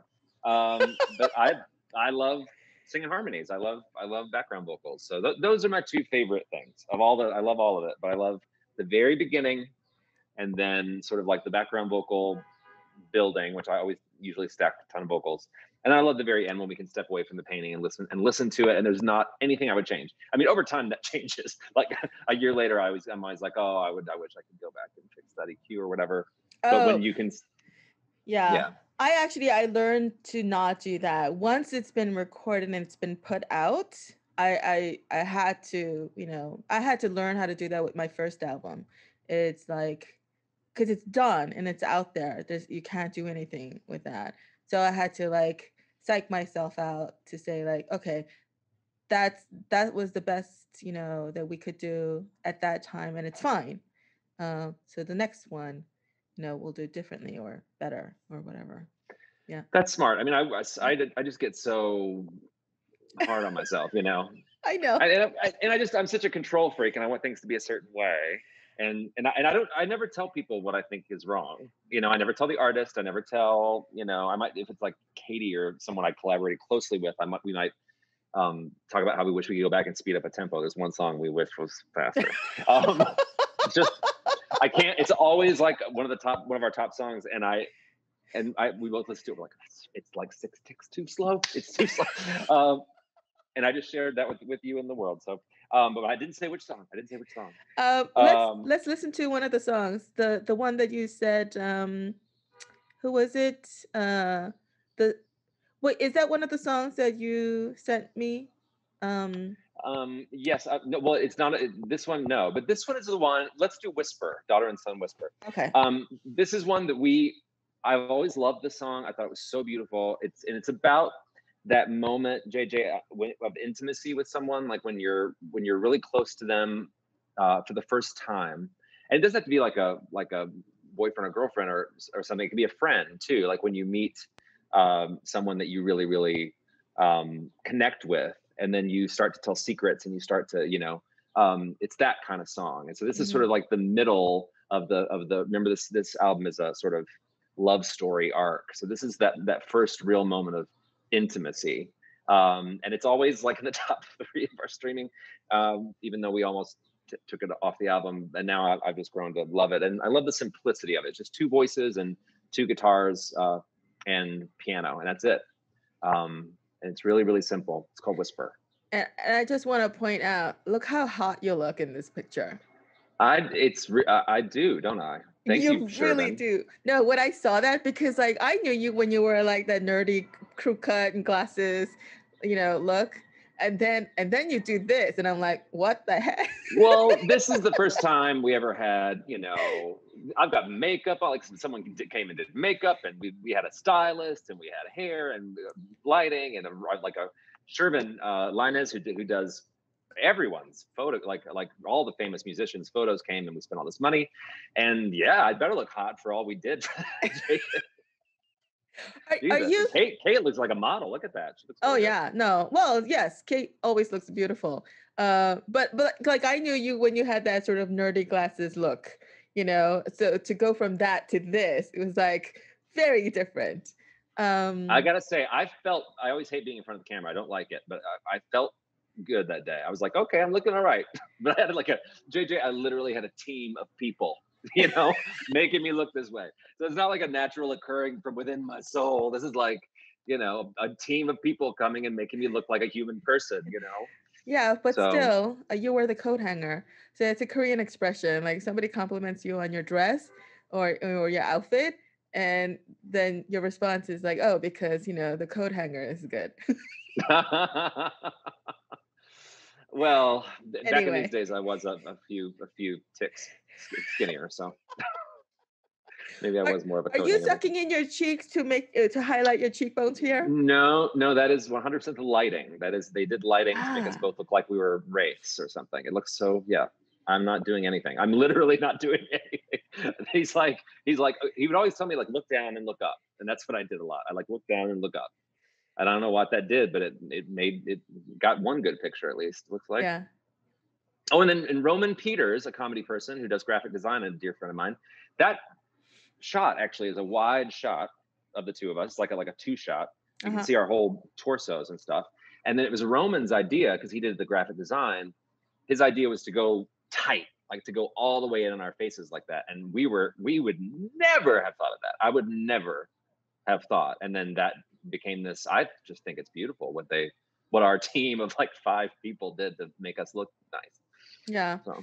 um I, I already have in mind that all my um, album covers, my face will not be on it.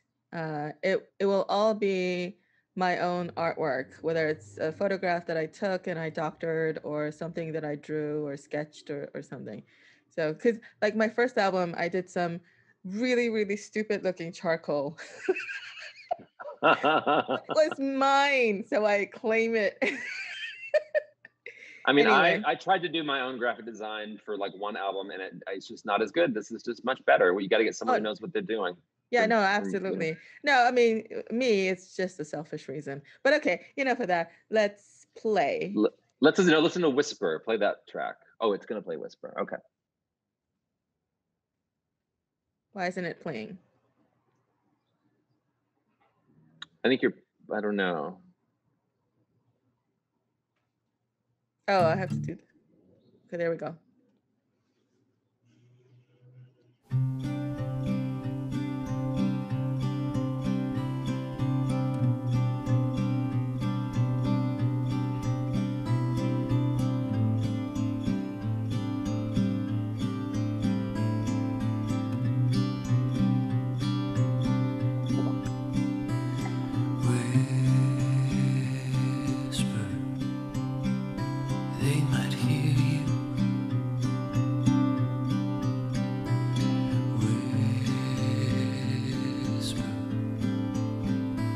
I'm sorry.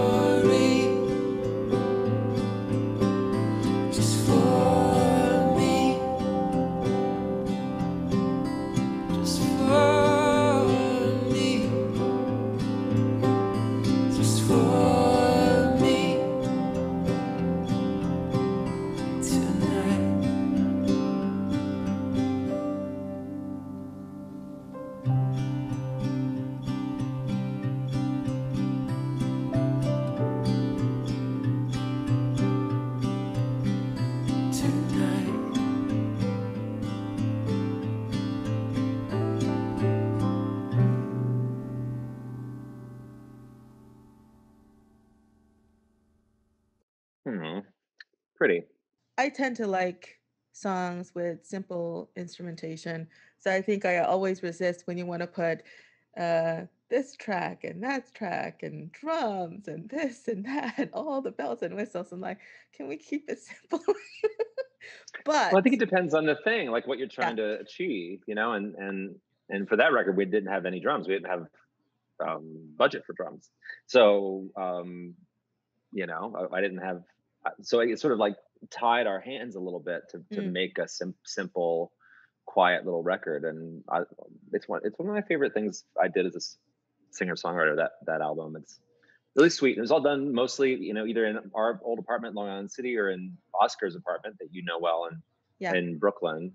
Uh, and just me and a lot of it was just me and, uh, and Oscar in his bedroom. Kate was in a Broadway show, so we didn't have her as much as we wanted. But but when she was there, she always was, of course, like 110 percent.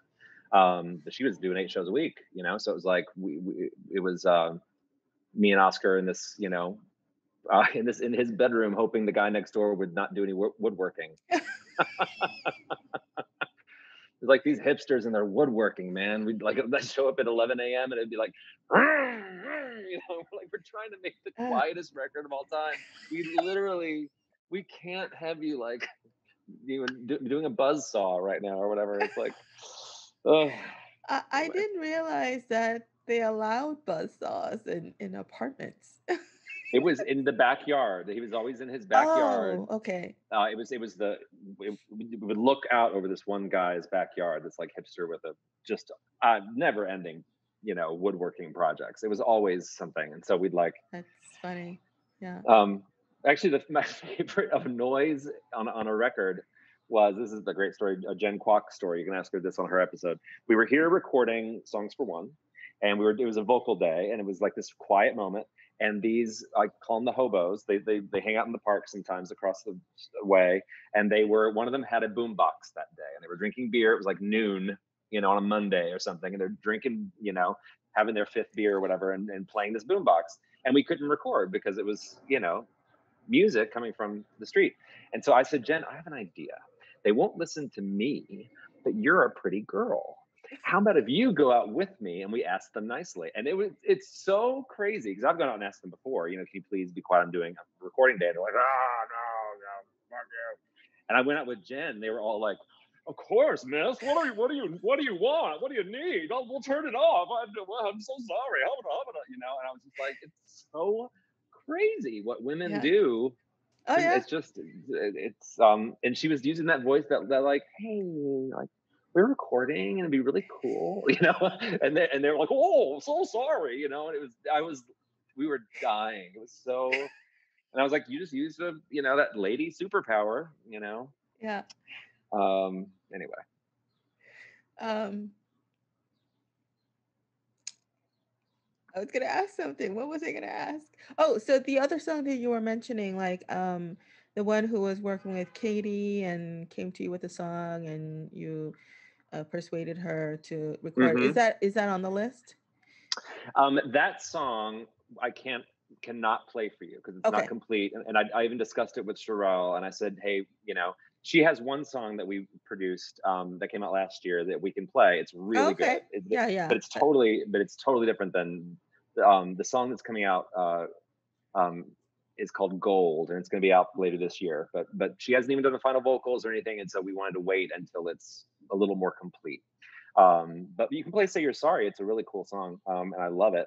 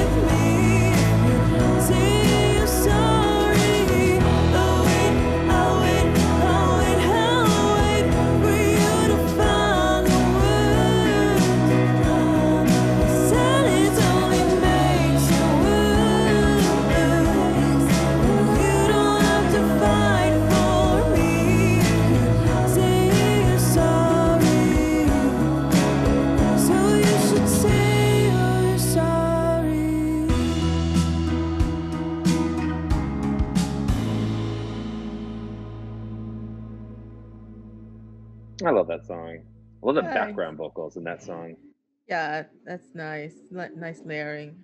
Some of the phrasing uh kind of reminds me of the 80s a little bit. Yeah, we do a little retro. It's it's almost like like indie rock, like indie pop 90 early 90s. It's sort of like Yeah. how I think of her, like a little bit sort of dream pop, a little sort of like um there's this there was a genre called shoegaze, which is Mm. kind of like you know back on these like the Sundays and like the Oh, Cure and like you're people, literally gazing um, on your shoes. literally just like hey I'm like a sad teenager and that's sort of like I'm I'm pulling some language from that um and especially the background vocals and in the drums and bass and stuff and she put her, her her guitars and then me on everything else so Yeah. um yeah And the pacing too also kind of reminds me of that that era. Yeah. Um oh yeah we Yeah, didn't yeah. want to that song could not be rushed it needed to just you know what i'm saying if, if it gets faster than that it loses it's like oh Yeah. yeah like like california when you know windshield rolled, rolled down oh, like the 80s again yeah, yeah, yeah. Yeah, exactly. People are like, "What's this?" anyway that's Cherelle. she's very sweet and she and i think her record's just gonna be it's uh, people are really gonna love it it's very very um So different that that's a single that came out. So she, you're saying she has a new album coming out? It's a new EP, yeah. So we're about 95% done. We just have to do the vocals, which we do next week. Um, we're doing them all at once, like over two really long days. Yeah. Uh, and, and then we're going to mix and then we're going to put it out. So I would say summer at the latest, it'll be out. Yeah. But that's the single that came out. We finished that right before COVID and it came out during COVID. And then we were kind of stuck. And then, you know, she decided to start working remotely. And so all the people I've played for you today that came out in the past year, it's all been done remotely. Um, Mm. uh, so she's in her apartment in Brooklyn, and I'm here, and we meet, you know, on Fridays and and discuss ideas. And she records all those parts at home, I don't. backgrounds and everything. Yeah. Uh, the funniest part is when I sing as her to give her ideas. You know, I'm sounding like, "I know what-" you know, it's, doesn't make it on the record usually, but um, but I do mock it all up myself. um yeah one of the so i went actually i went back and listened to some of the stuff that we were working on before covid and um and i realized like um and we we kind of stopped working on them because like we were working on some of it last spring even like uh, you know even during lockdown uh for the live stream uh thing we did last year um but then after like starting in June, I actually did not work on any music since June. So for like half a year, I didn't touch anything. And then this year I started like listening to them again and I realized like that gap was huge. And uh and I feel like um I kind of like lost the momentum and I kind of even forgot like what we did with what and why we decided to do that and not something else and you know there's like a lot of sort of loss of um i don't know memory or or whatever it is.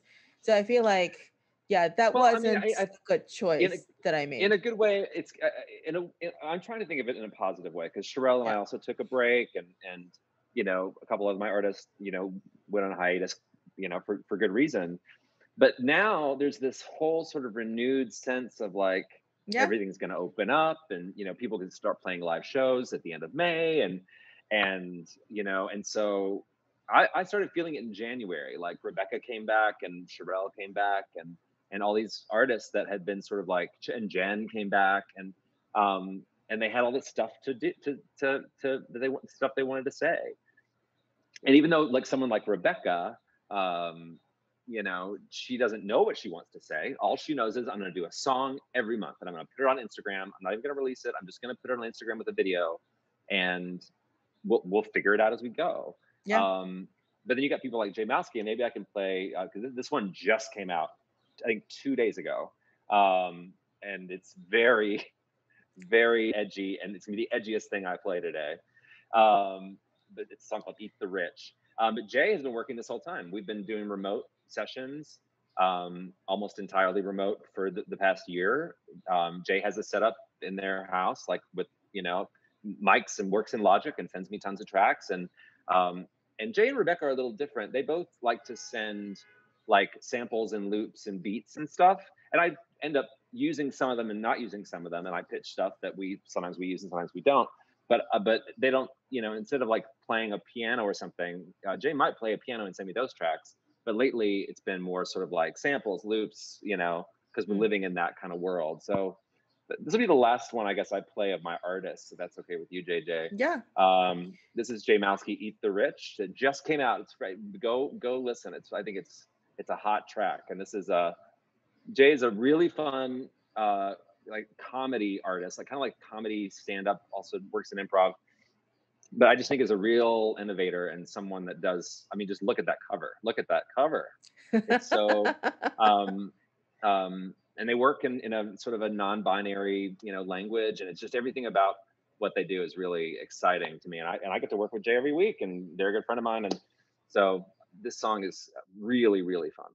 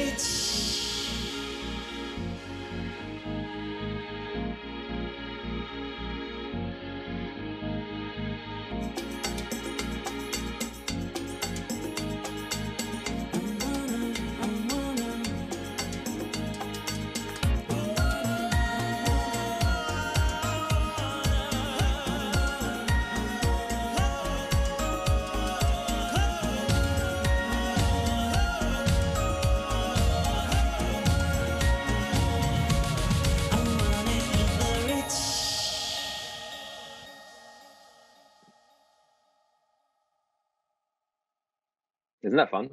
Yeah. Um, so a lot of the instrumentation uh, is, uh, would you call that synth? Is it? There's tons, tons of synths and, and electronic yeah. drums and and I, for Jay's recent stuff, I'm working more like a DJ producer because I'm like doing a lot of splicing. So a lot of that those vocals at the end are sort of like small pieces from the first half of the vocal that I then snip, you know, put into snippets and then layer and, and effect. So mm-hmm. it's got, you know, tons of effects on it, auto tune and, you know, delay and reverb and stuff. But then taking, you know, sort of like thinking of, of all the different parts, instruments and everything as individual pieces and then layering them. And then so like when that when all the instruments come out, it's just like the the the strings and the, the, the keyboard and then you just build, build, build, build, build like a like a DJ would in a club. And okay. that for me has been, you know, working in hip hop and working in in in sort of club music and pop music and dance music and um, that's really fun because I, I spent so yeah. many years you know with with with you know folk music and singer songwriter music and acoustic music i love that too and i love working with Cherelle and that stuff um, but to get to work with with rebecca and jay and these and and jen and people who who push the envelope of sort of synth pop and modern yeah. pop and throwback sort of post disco you know and r&b it's just it's just a really fun language for yeah. me to explore because it's so just like it's just goofy dancey fun you know um and i just I, I, it's a it's a part of myself because i love dance music too ah. and electronic music so it's it's just um it's a fun language for me to you know get to speak yeah. So so when I was talking to Sebastian, so apparently when he started playing the guitar, um, he uh like when he was like, I don't know, a teenager, he when he was like 15, he formed he and his friends formed a uh, punk metal band. So that was his start is punk metal guitar. And uh, so we were talking like, oh, maybe we should make one of our one of my songs, you know, like totally punk metal. I don't think I, mean, I, I don't think I have the voice for it though. you definitely don't. But we could but we could we could make it sound like something, you know, and we could affect it, you know, in the in the machine and see what we could do. No, I'm I'm not gonna, you know, be happy in my life until I've hit every genre there is. I mean, I've, I've worked in country, I've worked in bluegrass, I've worked in R and B, I've worked in hip hop, I've worked in uh, classical, I've worked in jazz, I've worked in cabaret, I've you know, folk music, singer songwriter music. I don't and people always say, "What kind of music are you into?" Like, I'm not. I'm, I'm into good music. Like, I'm into yeah. everything. Just the, sure. the I, I, like specific things within the genres, but um, I love it all. You know, give it. Yeah. Bring it on. If it's good music, it's good music. It doesn't matter like what genre it, it is. Um, so actually, I was gonna ask you: Is there any particular either whether it's an aspect of your work or or a style of music or maybe a, a certain uh, sort of musical thing that you do that you have done that you feel like that's sort of so over you're so over it or like you're kind of tired of it I don't know. I mean, like right now, I'm not tired of anything because I've been off for a year. You know what I'm saying? Like yeah. I've been working this whole time, but like as far as performing, like I was kind of getting burned out on musical improv before COVID mm. um, because I had been doing it since 1998 or something, 97. Mm. Um, and uh, you know I, every week and coaching and playing and you know the, the, money is so much even if i charge a lot i can't you know it's so you go out to play an improv show in a basement and you know um, on 28th street or whatever for no money and it's like i just i was getting to the point where i'm like well you know i'm in my 40s i don't really want to i don't have to do that anymore that's that was that was stuff young Jody did, and you know I was sort of down to one or two teams, and I was like, that's that's fine with me. But now I'm like ready to play at a musical improv show. Like I'm, let's do it, let's do whatever. I'll play whatever. I'll do, you know, I want to get out and play, and I'll do anything. I'm so excited to get out with the people again and do yeah. what we do live, you know, for people. And you asked me if I was retired. I think I'm retired from uh, being a singer songwriter, but I don't know. Like um, John Prine died a few months ago from COVID, and I picked up my guitar and started singing one of his songs, "Angel from Montgomery," and I put it online. And I was just like, well, maybe I don't know. Maybe one day I'll feel that yeah. you know buzz again. But I've also yeah. got these these shows, you know, these musicals that uh, that have been written that Peter and I have written. There are two of them, um, and we need to start pitching those and doing readings of those and t- talking to producers for those. So um, I'm excited just to get back to show business because I I love it with all my heart, and I love the people, and I love theater people, and I love comedy people, and I love music people, and I haven't seen them, you know, face to face in over a year, and I'm I'm I'm ready. I'm ready to go. yeah. Uh, well, you're definitely a people person. Um, yeah. so, what are some of the challenges? Uh, well, without getting divulging personal information, but like what are some of the some of the challenges you have uh, with um, working with different all the different personalities? It's funny you should ask that jj because i was talking to my therapist about this today. Oh. Um No, what you try to do when you're in my position and you work with all these different people who have very different needs and very different personalities and very different ways of working and uh, some people like to work really fast and some people work really slow some people want to spend like even jen kwok you know we have spent literally a year on three songs or like this last song we spent two weeks on it mm-hmm. and it, it's it's great and it's yeah. like you know that's what that song needed it needed just a quick you know and so it's that's the challenge for me is not just musically how to give people the best experience you know how to bring their music to life or draw it out of them or make it what it was always meant to be or or something better than they could even imagine but it's also like the personal part that mm. um is it can be really challenging because you're you know in back when we're in real life you know you're in rehearsal rooms and studios and one-on-one with these people for a very long time sometimes and you know um uh you know there were i remember recording my my solo album the blue green and blue my, my engineer i did not engineer that record rob kinelski did, did and rob kinelski just won a grammy for producing billie eilish oh uh, wow uh, and so he and he engineered the Blur of Green and Blue, and just won for engineering her, which I'm so proud of him. But he and I and my manager Dave, who co-produced the record with me, we would spend. I mean, this is back we were in those studios in Midtown, like Legacy and everything. We would get those. Um, it was before I had a, like a, a good setup here, and we would get like a call at two o'clock in the morning or three o'clock in the morning saying we have we have us you know we have three to 8 mm-hmm. a.m. Mm-hmm. And so we would be in the studio from like 3 to 8 a.m., you know, in Midtown, in Times Square. And you, you walk out of there, like sometimes we walk out at like five in the morning and Times Square would be like like it is now, like dead, dead you know. Yeah. but that's the hardest part for me about about this business is just like rolling with whatever is happening and and trying to do the best you can in that moment if the the situation is challenging or the person is challenging or the you know um because it's not just about the music it's about being yeah. there for them in a way that's more than just it's it's being a confidant it's being a um, a friend it's being a, mentor it's being a, a, a coach um, so i because i like to be a one-stop shop for people I, I have to do all that myself. And so that's the that's the hardest part for me but it's also the most rewarding i think. Yeah uh, did you realize that you were also going to have to play that role uh you know the friend the coach you know and and in some sense a therapist for your mm. artists like when you decided to work with artists? No but i found out real quick and you have to have boundaries you know you have to set boundaries and sure. say you know this is you can't you know because if they're all texting me at two in the morning i can't Oh no, no, yeah. You know, and so that's why I try to keep all my business on email and try to, you know, like, um, because I, I don't have the the sort of like emotional mental bandwidth to sort of like yeah. take care of people um of all my artists because there's um it's just it's too much of a emotional burden, you know. Yeah, but I could also see the temptation to for your artist to want to sort of reach out to you in in different moments because um you know and you know this like your songs your you know this this is stuff that you created it's very personal to you and you're sharing this this whole process with somebody else and um yeah.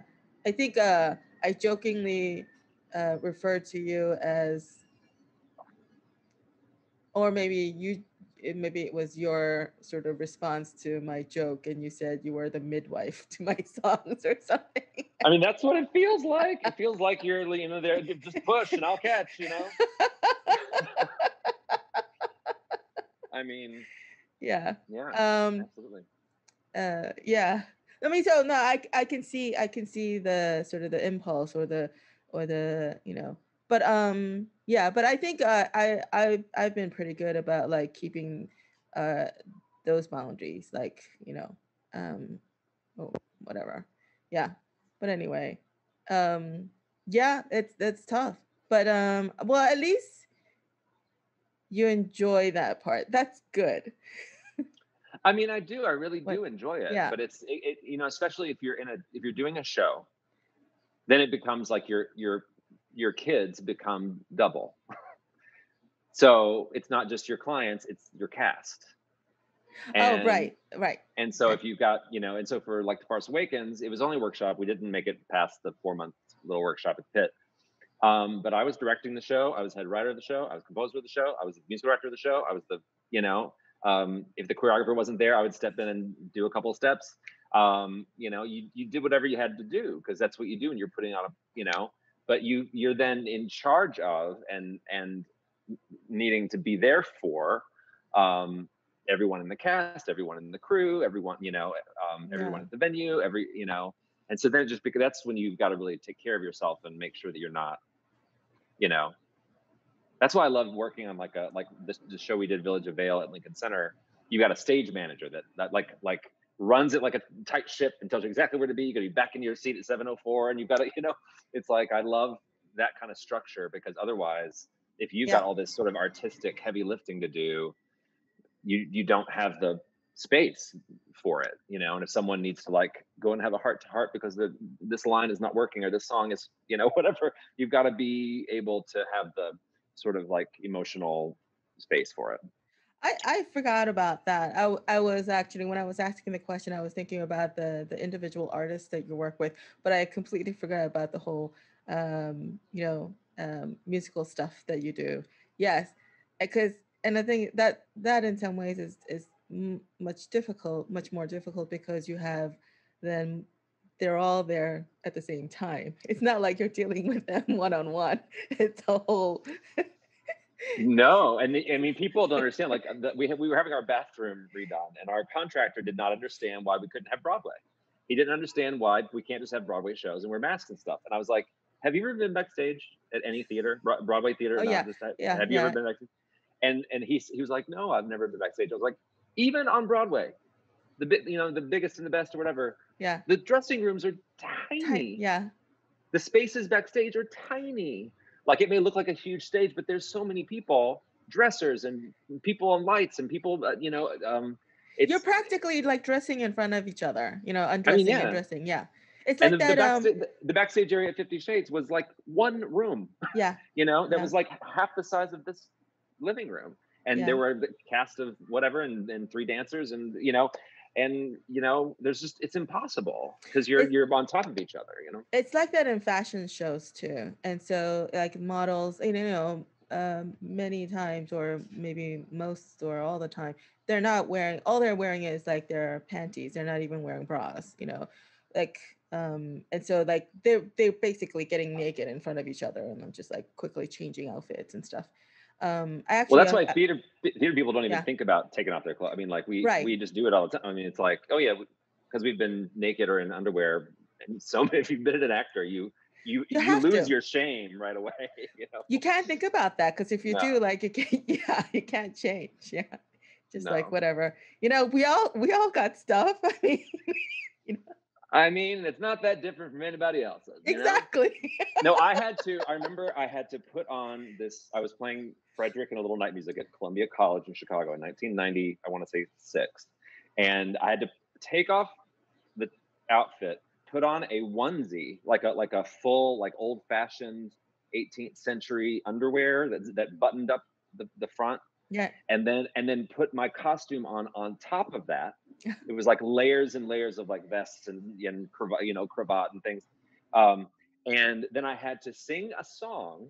Now as a sweet facility, someone so lavishly under her lap that song, and I had to disrobe throughout the course of the song into the onesie, and then go backstage, take the onesie off, put the thing back on, so I wouldn't like melt through the rest of the show because I didn't want to keep the you know all those layers on um, but it was just like you and, and I maybe had 30 seconds to do it. It was like, you know, there's yeah. someone there to button your thing and, and and then dab your forehead and you're back on stage, you know? It's yeah. like um, but that's for me why I still love theater. You know, that's why I can't wait to do it again. Um, as much as I love producing, I, you know, it's probably my first um, theater, you know, I, I, I, I musical directed my first show when I was 14, My Fair Lady down in Tennessee. And at, at Cannon County Playhouse Community Theater, you know, and um, and I, you know, it's still my I think my first love is being, you know, putting together a show wow. for for an audience to see. So so you enjoy that frenzy? Oh, it's like being on the best drug you've ever been. On. I mean, it's just like, opening night or like you know it's or that first preview you know the first time you're in front of an audience yeah like it's it's so thrilling like i'll never forget opening night because uh, for the story of a story ah i just did a great segue jj we can play a song yes. story of a story yes so um in 2000 i want to say 15 we were uh, opening at the chopin theater in in chicago um and me and peter uh with our cast of whatever 12 and and in this uh theater sort of storefront theater in Chicago, and uh, we had been trying. Our goal throughout all the previews was to get the show under two hours. This was the goal. It was originally like two and a half hours. It was way too long. Comedy should never be two and a half hours. You've got to, you know, you got to move it along. And so we were going to be under two hours. That was the goal for opening night. And every every night the stage manager would come over and give us the time at the end of the show and she came over and it was like 206 or like the first time it was like 208 or something and then it was like 206 and then we cut cut cut cut and then it was like I'm rehearsing rehearsing get things moving then it was like 204 then it was like 203 and then she arrived opening night and she came over and she goes guys we were at one hour 59 and we just like went we went like Yay not only is it opening night and everyone's there to see and you're about to have the party and everyone's you know the press is there and it's exciting but but we made our goal of getting it under two hours throughout the course of the preview. And that stuff there's nothing more exciting you know than than opening night or you know um it's the most exciting thing i do in my career. Yeah yeah. Wow. That that sounds amazing. Um all so right, this, so I guess I'll set up the song. So this is the opening number. This was not after the 2015 run. We ended up rewriting the whole show, and like dropping a few songs and writing a few new songs and um, rewriting parts of the script. And we feel so great about it now. Um, if anyone wants to produce a show, we've got a show for you. Um, uh, but this is our, our new opening number. Most of the parts were done by me. All the instruments are done by me. The lead vocal is done by me. Uh, the, it's sung by the full cast and the uh, the our our villain, who's this guy named Masterful, who's trying to get our our two leads um, to come into the world, Ben and Maggie, to come into the world of creativity and to and to he's going to give them everything. They're creative people who have their have had their creativity squashed, and he's going to give them everything they ever wanted. So this is uh, the opening number, the new opening number of the story of a story, the untold story. And uh, the song is called Wow, right? It's called Wow. Yeah.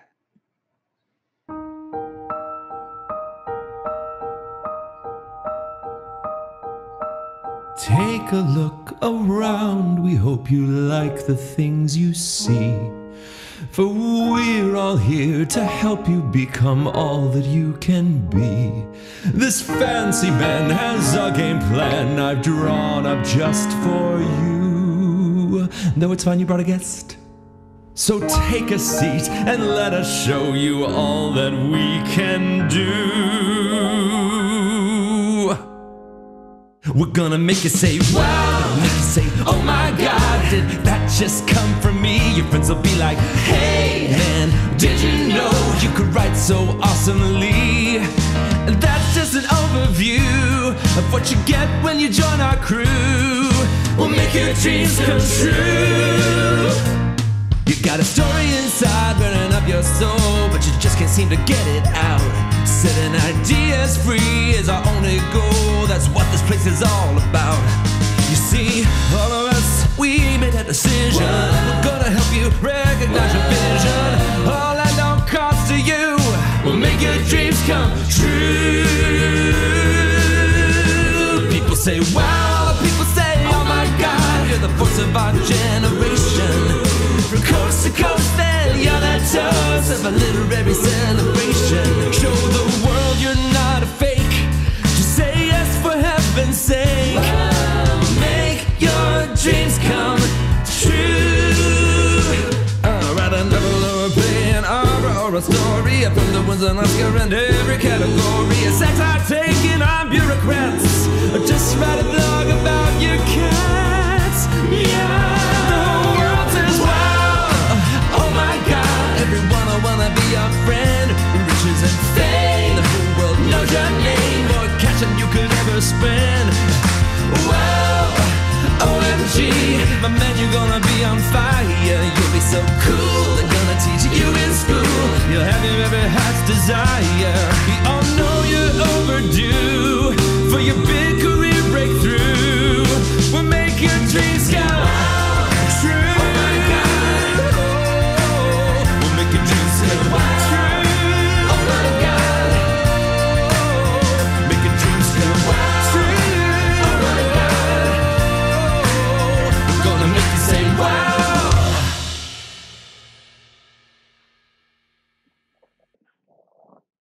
And that's the beginning of our story. Uh, what is the what is the musical about? Story of a story. Um, so it's these two characters, Ben and Maggie. They work uh, for a um, uh, like a, a kids coloring book company, and they're an artist and a writer, and they really want to write the great American novel and to you know to become a great artist. And they're friends, and they're flirty friends, they're work friends, you know. Um, and then one day, uh, Ben gets this e- this mysterious email uh, that then opens up a portal into another dimension where Masterful, who you, you just met in that song, and his cast of, of cliched characters live. Uh, and so uh, he's trying to get them to come and write and and draw and, and be the artist in his world of cliches. And it ends up being this giant war against you know to, to save the soul of creativity. And it's very very i mean we i've spent most of my adult life on this piece and i it's the best thing i've ever done so far and i'm very proud of it it's been produced once and we got a little nomination for a jeff award which is like a chicago tony and wow. um, we got to go and get dressed up and wear a little badge and you know hang out with our cast and crew and it was real fun and um uh the cast was amazing and you know but it was a you know we want it to be a bigger thing. And so we were talking to some animation people earlier during covid and so that's not really moving forward right now because nothing was moving forward. So um who knows? You know it's it's a it's a great sort of timeless show. It's a it's a pastiche show if you know what that means. All the different all, all the the um songs are in a totally different style.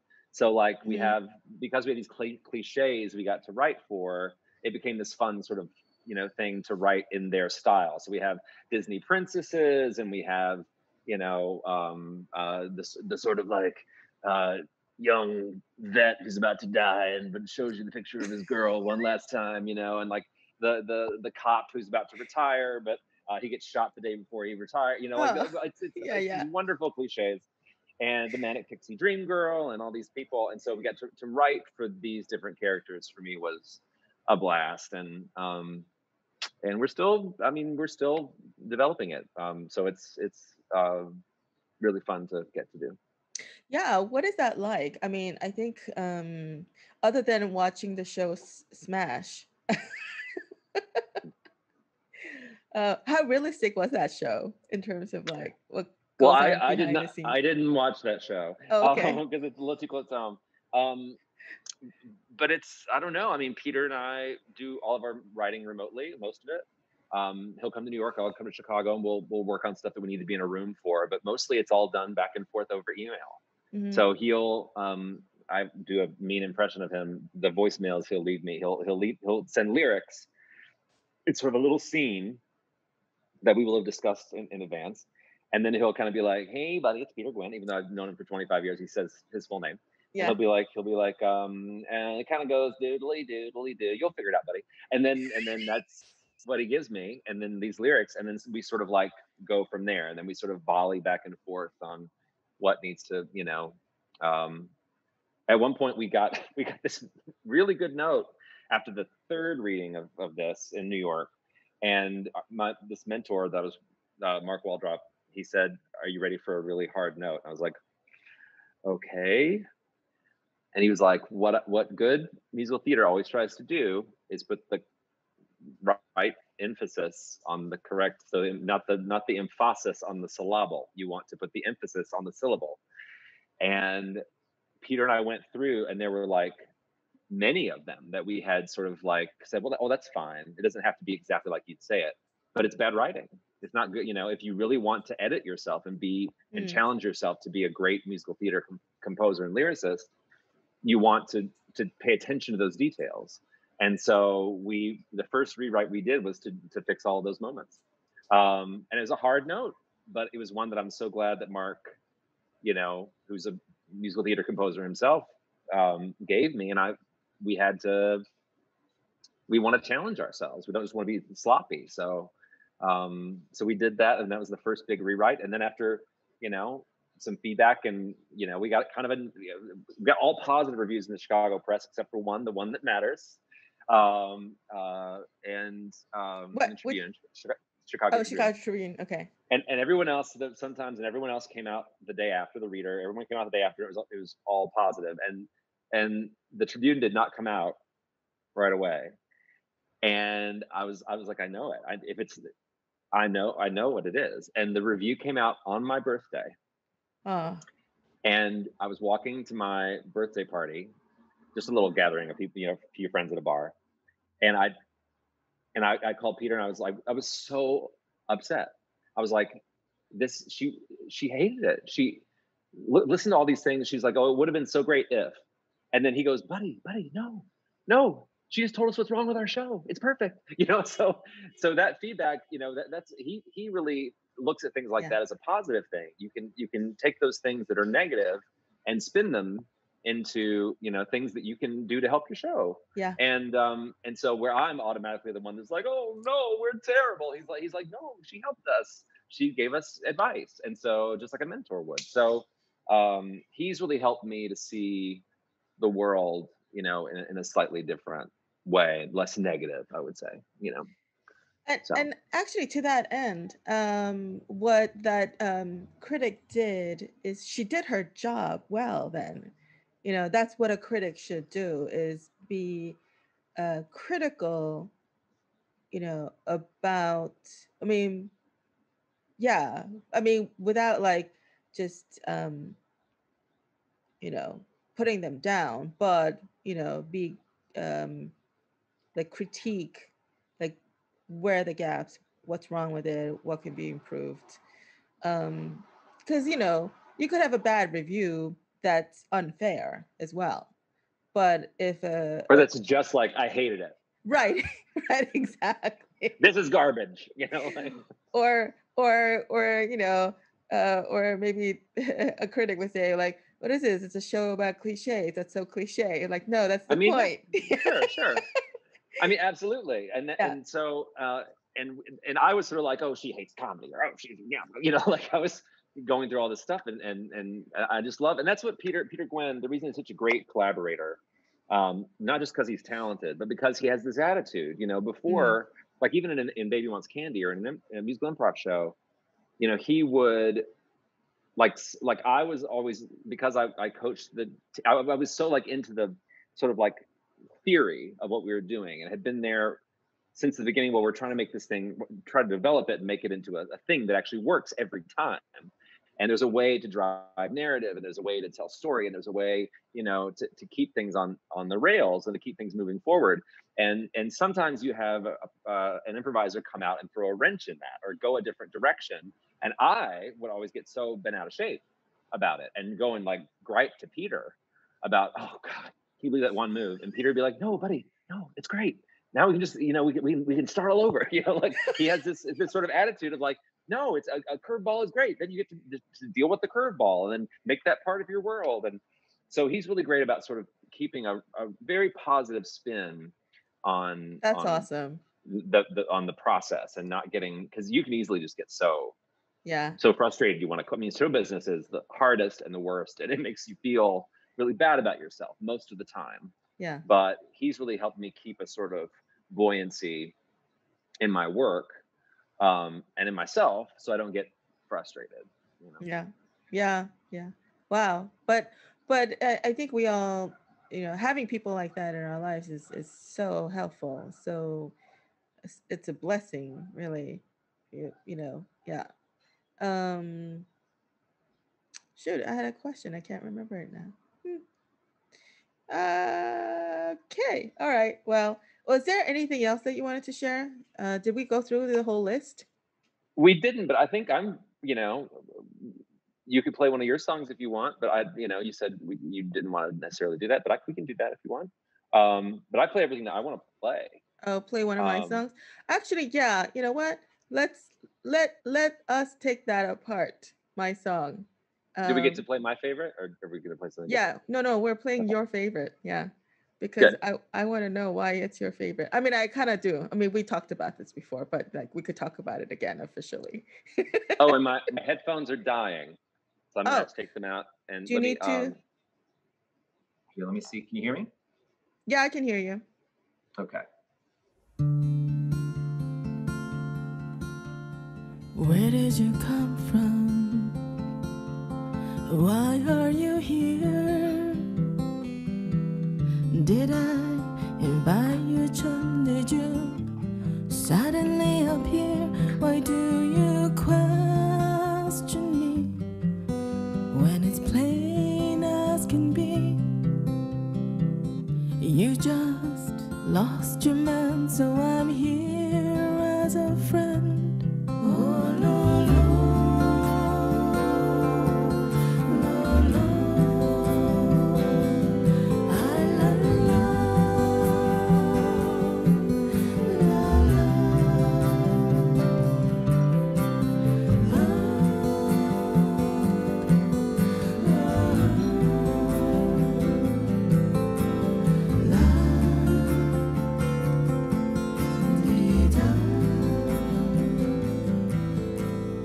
Where do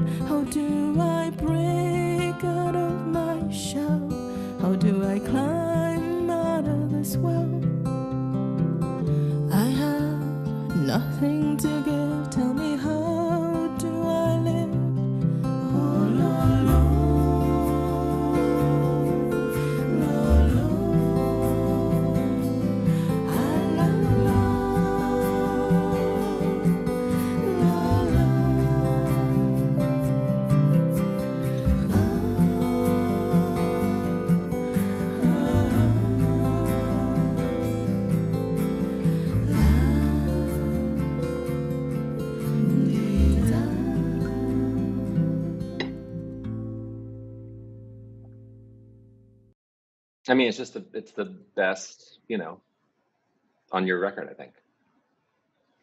Um, yeah. So, uh, I don't know if I ever told you the backstory uh, of that song. So, um, that song was never meant to be sung in public or recorded or anything. okay. So the uh, the first verse um, was originally written, I don't know, 2009 or something like that. And um, and it was just that one verse. Uh, and um, and I wrote that after I was completely heartbroken. And the original title of that song was Me and My Hole. And the hole, I know, you'll laugh. JJ, you told me that, and I was like, Jay, you know. know. what that sounds like, JJ. you have to change that title. That that was the first thing you said. I may be a comedy person, but I think more than just comedy people would understand what that title uh, means. Um, the hole refers to this this emptiness. Like if somebody literally reached into your chest, took out your heart, and there was this gaping hole that was left that's that's what it referred to. And again, again, this was not meant to be publicly shared or anything. Okay. So, so like, yeah, that was the title. And um, and the way I originally um, wrote it, I mean, the melody is exactly the same, the chords are exactly the same, but the way I sang it was is really like like from your belly wail like somebody wailing at like a funeral like an italian funeral funeral like kind of wail. Wow. Yeah so like that's kind of like how i sang it.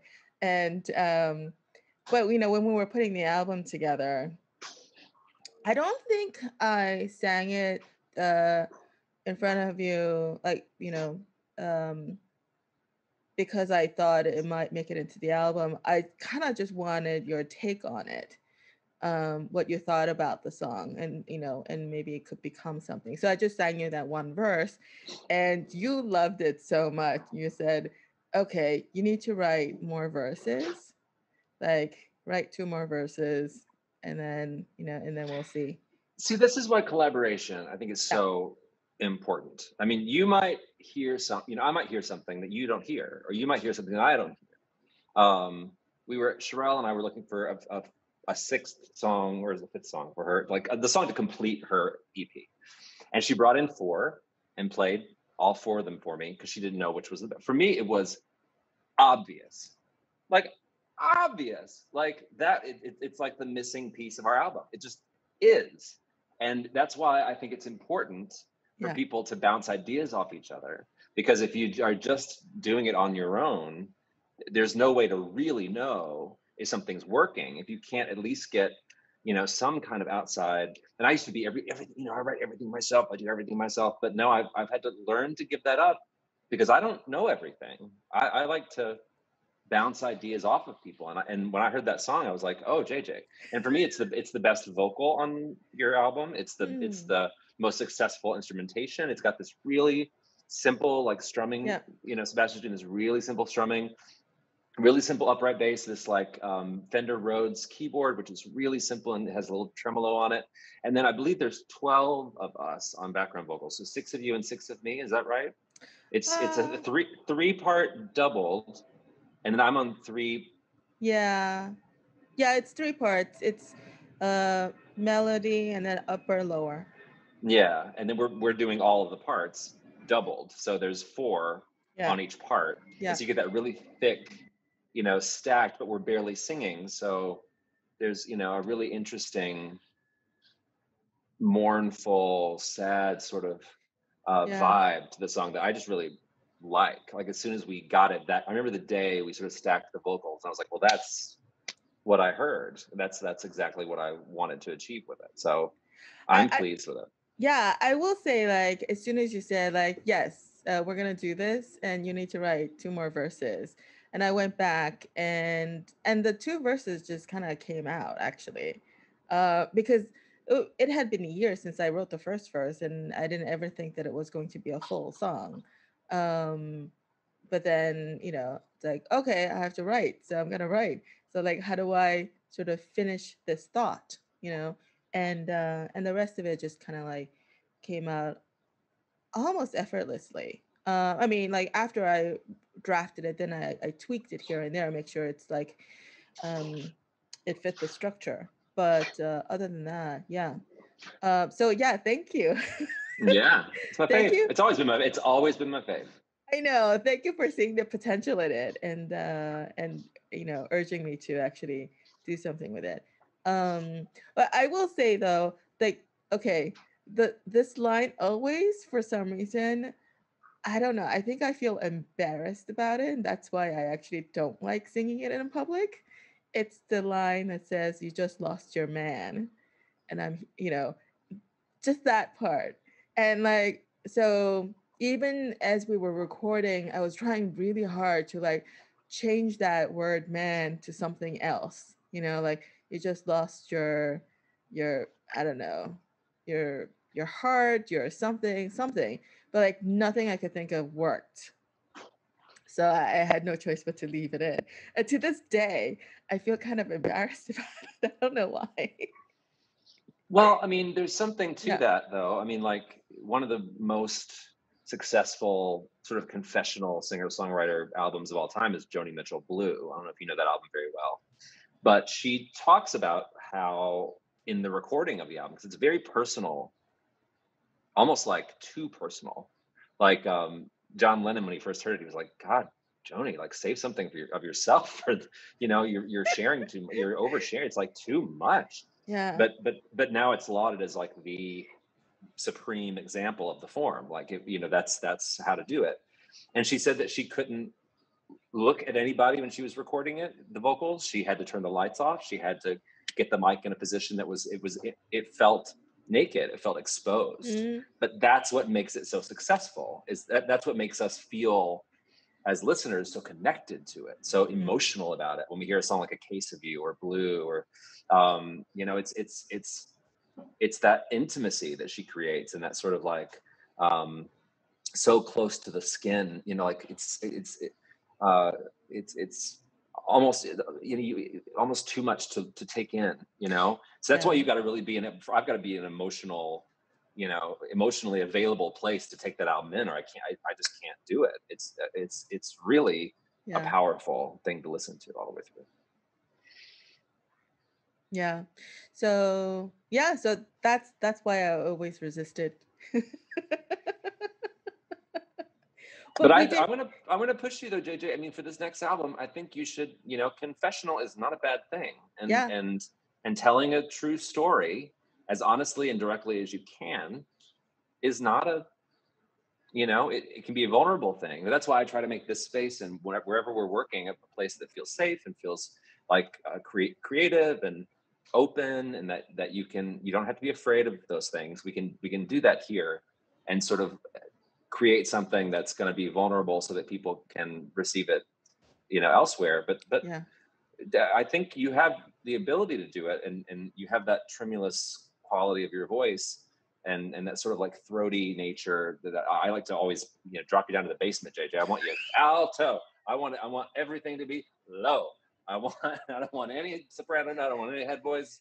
I want it to be throaty and you know, and that's and and so maybe that's something you can really work on is is that emotionality, that that feeling of of um, sharing something that's that's a little personal, a little a little yeah. you know hard. Yeah, I guess um yeah, I guess I I always thought well, all of my songs are autobiographical in that sense. Um I mean even this concept album it is.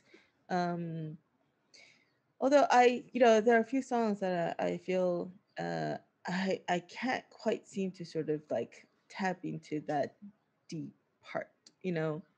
Um yeah, I don't know. I I, I just have to keep working on it.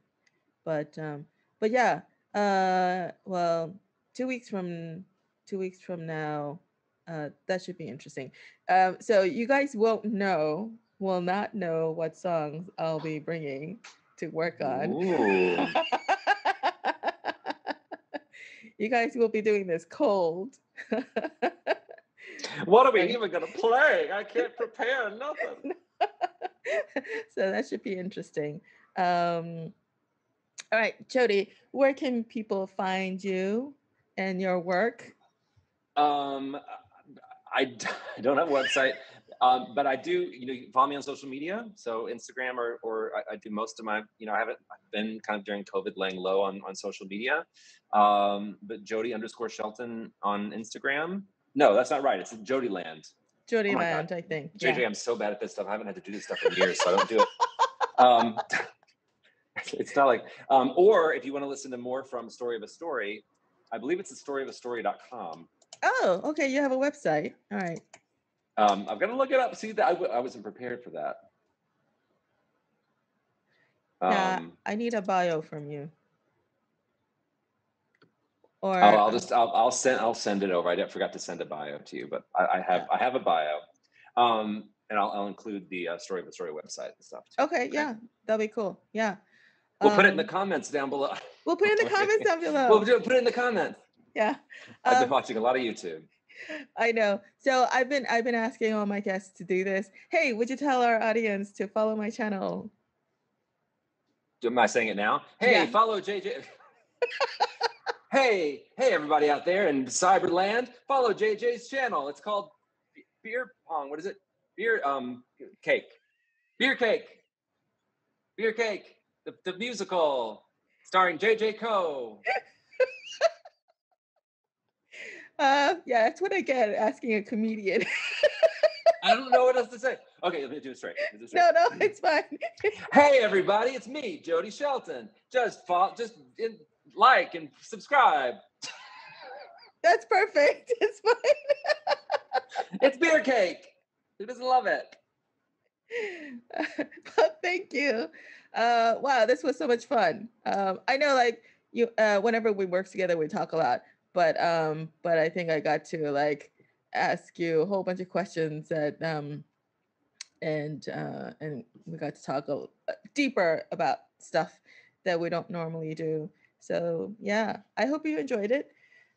Yes, I don't like talking about myself usually, but but I told you at the beginning of this, eh, for you, anything, JJ, anything. Um, yeah, you know what? You you did end up talking uh, quite a bit about yourself, but you did also talk a lot about the people that you work with, like the artists and all that. So yeah, so that was always cool. I like to talk about yeah. them. I do love to talk about them. The you know me is fine, but it's the, the they're doing the you know they're they're the stars right now. I'm just backing them up. Um, yeah, and I'll be talking to one of your uh, uh one of my fellow artists, um, uh, Jen Kwok, next month. That's yeah. right. That's right. That should be fun. She's... We're gonna have some real serious girl talk about music and about life stuff. I mean, yeah, she's one of my faves, and you got to get that little Wolfgang. He's the cutest little thing oh, anybody's right. ever seen. He was here for a vocal session when he was like maybe nine months old, and and it was just like, and at one point he wouldn't stay quiet unless uh, someone was holding him, and Mama had to sing. So I was literally like engineering and producing the session, cueing Jen over my shoulder while Wolfgang was right here. so um, he was part of that that recording. Uh, uh, oh, I should I should tell the audience about that too. We did Jen Kwok and I did the music for a really cool podcast called uh, Sunstorm, mm. uh, which is uh, hosted by Ai-jen Poo and uh, Alicia Garza, one of the um, founders of Black Lives Matter. And they asked Jen and I to do all the music for it. It's it's it's basically a, a progressive podcast for women by women. You know, like um, uh, talking about you know supporting other women and lifting them you know especially women of color and lifting them, themselves up and being you know supportive of each other. And we did some really like i think very cool music me and jen. And so uh, that that is available where you get your podcasts. So is that um is like the intro outro music? Yes and all their transitions and things. So we okay. did like there's like there's like cues that are like kind of like empower and like, oh, okay. and like loving and like and like march, you know, like different kinds of uh, music, and it all has Jen's voice and like lots of those vocals that I like to layer, and it's got kind of a hip hop feel, a little a little R and B, little yeah. pop. Um, I really love the soundtrack of that podcast. It's what I, it's like a podcast, you know, music, but but I just think it's it's cool, it's cool music that I listen to just on its own all the time. So nice. Um, maybe they'll put out a, a, an album or an EP or something. I would love that. Yeah, that would be cool. Actually, my intro outro music is uh, from one of the guitar tracks that uh, Sebastian did that we ended up not using. So I just kind of like, oh, this is this is nice. I'm just gonna steal it and uh, and do it. I did tell him about it afterwards. I'm like, oh, by the way, this is what I did. I hope you're okay with it. And he's like, I, and I do credit him, like in the you know, in the place uh, the place cards that I put. So totally. Yeah, yeah. Um, well, right. JJ, thank you so much for having me. I, yeah, I this is so your, much fun. Yeah. Thank you so much for doing it. Sorry, of I course. interrupted you. Never interrupt me. No, yeah. Um, but I'll see you in a couple weeks when we do our live stream. We'll see you in a couple of weeks. Yeah. Um, bushy tail and bright eye. Oh God! What, what, what time of day is it? Uh, well, it's noon. Yeah, whatever. It's oh, fine. I don't do anything before noon, honey. So I was about to say, what is it like ten? I don't do anything at ten. no, no, no. The morning? no, we'll be there noon, and I'll be bringing the three bottles of whiskey. Great. Maybe maybe I will have more than this. Maybe we'll get nice and drunk for the uh, people. Who knows? It, it's fine. I you know I I expect kind of like a I just want like a fun but collaborative kind of vibe going. And I mean, I, I do want it to be like an honest working session that we just happen to be streaming live. Yeah. And happen to be really drunk. That's all. And happen to be really drunk. Yeah. okay. So just hit like and subscribe. Thank you. Thank you, Jody. Thank you.